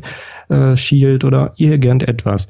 Und ähm, selbst zum Schluss dann eben, äh, also mit, mit, wo der Sledgehammer halt eingesetzt wurde, da dachte ich auch noch, okay, jetzt wird Triple H hier dann doch irgendwie, um Heat zu ziehen, natürlich wieder mit unfairen Mitteln eingesetzt, wobei das auch irgendwie weiß ich nicht, komisch gebuckt war, fand ich, dass Steph dann da doch relativ fit war, um den, um den Sledgehammer noch unterm Ring her zu suchen und ihn dann zu geben, aber danach war sie wieder völlig weg vom Fenster. Ähm, fand ich auch ein bisschen komisch. Und ähm, ja, selbst wie gesagt, dann, dann halt zwei Superman-Punches und der Spear und es wird durchgezählt und selbst dann dachte ich immer noch, okay, jetzt kommt irgendwas. Und selbst wo die Kommentatoren sagen, okay, das war's und schönen Abend noch und tschüss, selbst da dachte ich immer noch, jetzt kommt noch irgendetwas. Weil ihr habt eh schon so krass überzogen, jetzt ist es auch scheißegal und es kam einfach nicht. Von daher will ich jetzt nicht mehr sagen, dass ich Hoffnungen für die Raw habe. Ich bin, was das angeht, einfach so krass enttäuscht, was, was äh, Potenzial, verschwendetes Potenzial angeht. Die Crowd war überhaupt nicht in diesem Match, war super gelangweilt, chanted Nakamura und, und ja, äh, gegen Reigns. Ole, ole, ole. Ole, ole, ole, ole genau. genau ja. Also das ist doch einfach das Krasseste, dass sie dann noch nicht mal jetzt mehr gegen Reigns chanten, sondern äh, wirklich komplett das Interesse an diesem Match verlieren und dann komplett andere Geschichten denken. Ähm, und von daher, wie gesagt, habe ich da jetzt auch nicht große Hoffnungen für die Raw Raw, dass sie jetzt auf einmal das Ruder rumreißen, weil das hätte man zumindest zum Teil bei Mania machen müssen. Äh, man hat halt so viel Potenzial, so viel Stories, wo wir auch in der Preview drüber gesprochen haben, dass sie es bei ein, zwei Matches nicht machen, war auch ganz klar. Aber bei jedem Match, äh, sorry, das geht einfach nicht. Ja, also im Endeffekt, der Main Event war schon sehr scheiße. Also das Match war nicht mal so schrecklich, aber da ich einfach nicht drin war, war es schrecklich und das Ende war schrecklich und es war unkreativ und es war einfach extrem grauenhaft gebuckt am Ende. Aber ich sage ganz ehrlich, ich fand die WrestleMania nicht eine der schlechtesten in den letzten 15 Jahren, weil das halte ich für absolut underrated. Ich äh, sehe das sowieso sehr, sehr krass, dass es sehr auch vom Ende abhängt. Das war schon die letzten Jahre auch immer so, äh, zum Beispiel bei, bei WrestleMania 31, dass eben äh, sehr, sehr viele auch extrem die WrestleMania überbewertet haben in den ersten Stunden danach, weil eben der Seth Rollins Cash-In so krass war. Äh, hier ist es eben ein richtig schwaches Ende und äh, die WWE, also wie kann man so ein Ende bucken? Im Endeffekt war die WrestleMania für mich, aber im Endeffekt insgesamt keine so schwache WrestleMania. Sie war eine durchschnittliche WrestleMania. Ich gebe einfach äh, 7,5 von 10. Also es war Durchschnitt. Äh, es war nicht gut, es war aber auch nicht scheiße, fand ich, denn wir, es war halt einfach so eine, so eine komplett verrückte Show. Man hat so überzogen, man hat fast fünf Stunden Main Show gehabt, was einfach zu viel war. Es war aber auch irgendwie komplett unterhaltsam und ich habe nie irgendwie so eine langweilige Phase gehabt. Es, es hat mich von den Emotionen hoch und runter gerissen. Es waren Enttäuschungen natürlich dabei. Das Zeitmanagement war schrecklich. Aber dafür hatten wir eine geile Matchqualität. Und der Main Event war so skurril, also so, so unreal hat er auch gewirkt. Gutes und schlechtes Booking. Es gab einfach alles bei dieser Show. Die Atmosphäre war krass. Es war auch einfach episch. Es gab einen unglaublich krassen Spot in einem unglaublich emotionalen Match. Und äh, es war trotzdem hinter den Erwartungen. Also es war eine WrestleMania, die hinter den Erwartungen blieb, weil man eben das Potenzial nicht komplett genutzt hat. Und von daher, also wenn ich hier lese gerade im Chat 4,5 maximal, das ist ja absolut äh, underrated. Ja, aber, komm, da mache ich mal weiter. Ich finde, du übertreibst einmal 7,5. Du musst immer die Show vor Augen führen. So, erstmal Kick-Off-Show, äh, da der US-Title am Anfang kam, haben wir jetzt daraus ein den untersten Undercard-Titel gemacht. Die Matches waren alle nicht gerade gut. Dann fing die Show ja eigentlich echt gut an mit dem IC-Match, wobei äh, man einem Jobber den Titel gegeben hat. Vielleicht wird es jetzt auch ein Undercard-Titel, finde ich fraglich. AJ Styles gegen Jericho war gut und nach den beiden Matches, nach dieser Anfangszeit, finde ich, ging es halt krass bergab, weil du mit äh, New Day und League of Nations Kacke hattest, Ambrose und Lesnar total unglaublich krass unter den Erwartungen blieben. Die Diven haben dann wieder Hoffnung gebracht. Ähm, Shane und Taker sind halt sehr gespaltene Meinung, aber ich denke mal, die meisten Leute sind sich schon einig, dass es zu viel Zeit gekostet hat. Under the Giant Match war, naja, das Segment mit The Rock und das Match war auch nur Zeitverschwendung und unnötig und hat wieder ein Talent geburied. Und das Main Event Match war halt einfach äh, der, der Witz in Tüten. Und das war, deswegen, ich, ich weiß nicht, das liegt immer auch an der Stimmung und die Stimmung ist halt jetzt gerade im Keller nach der Mania, nachdem man so viele Stunden damit verbracht hat, sich sowas reinzuziehen.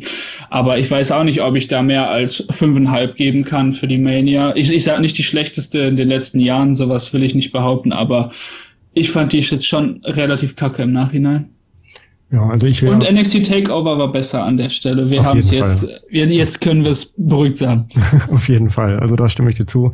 Äh, ich wäre auch bei einer 6 jetzt äh, von der Bewertung her, weil äh, ja, es einfach zu viel, zu viel Potenzial war da. Wir hatten zu viel Hoffnung und ähm, ja, nichts wurde erfüllt. Also ich finde im Prinzip gar nichts, muss ich jetzt mal ehrlich sagen. Warum ich die sechs halt gebe, ist halt wirklich von der Matchqualität her äh, darauf zurückzuführen.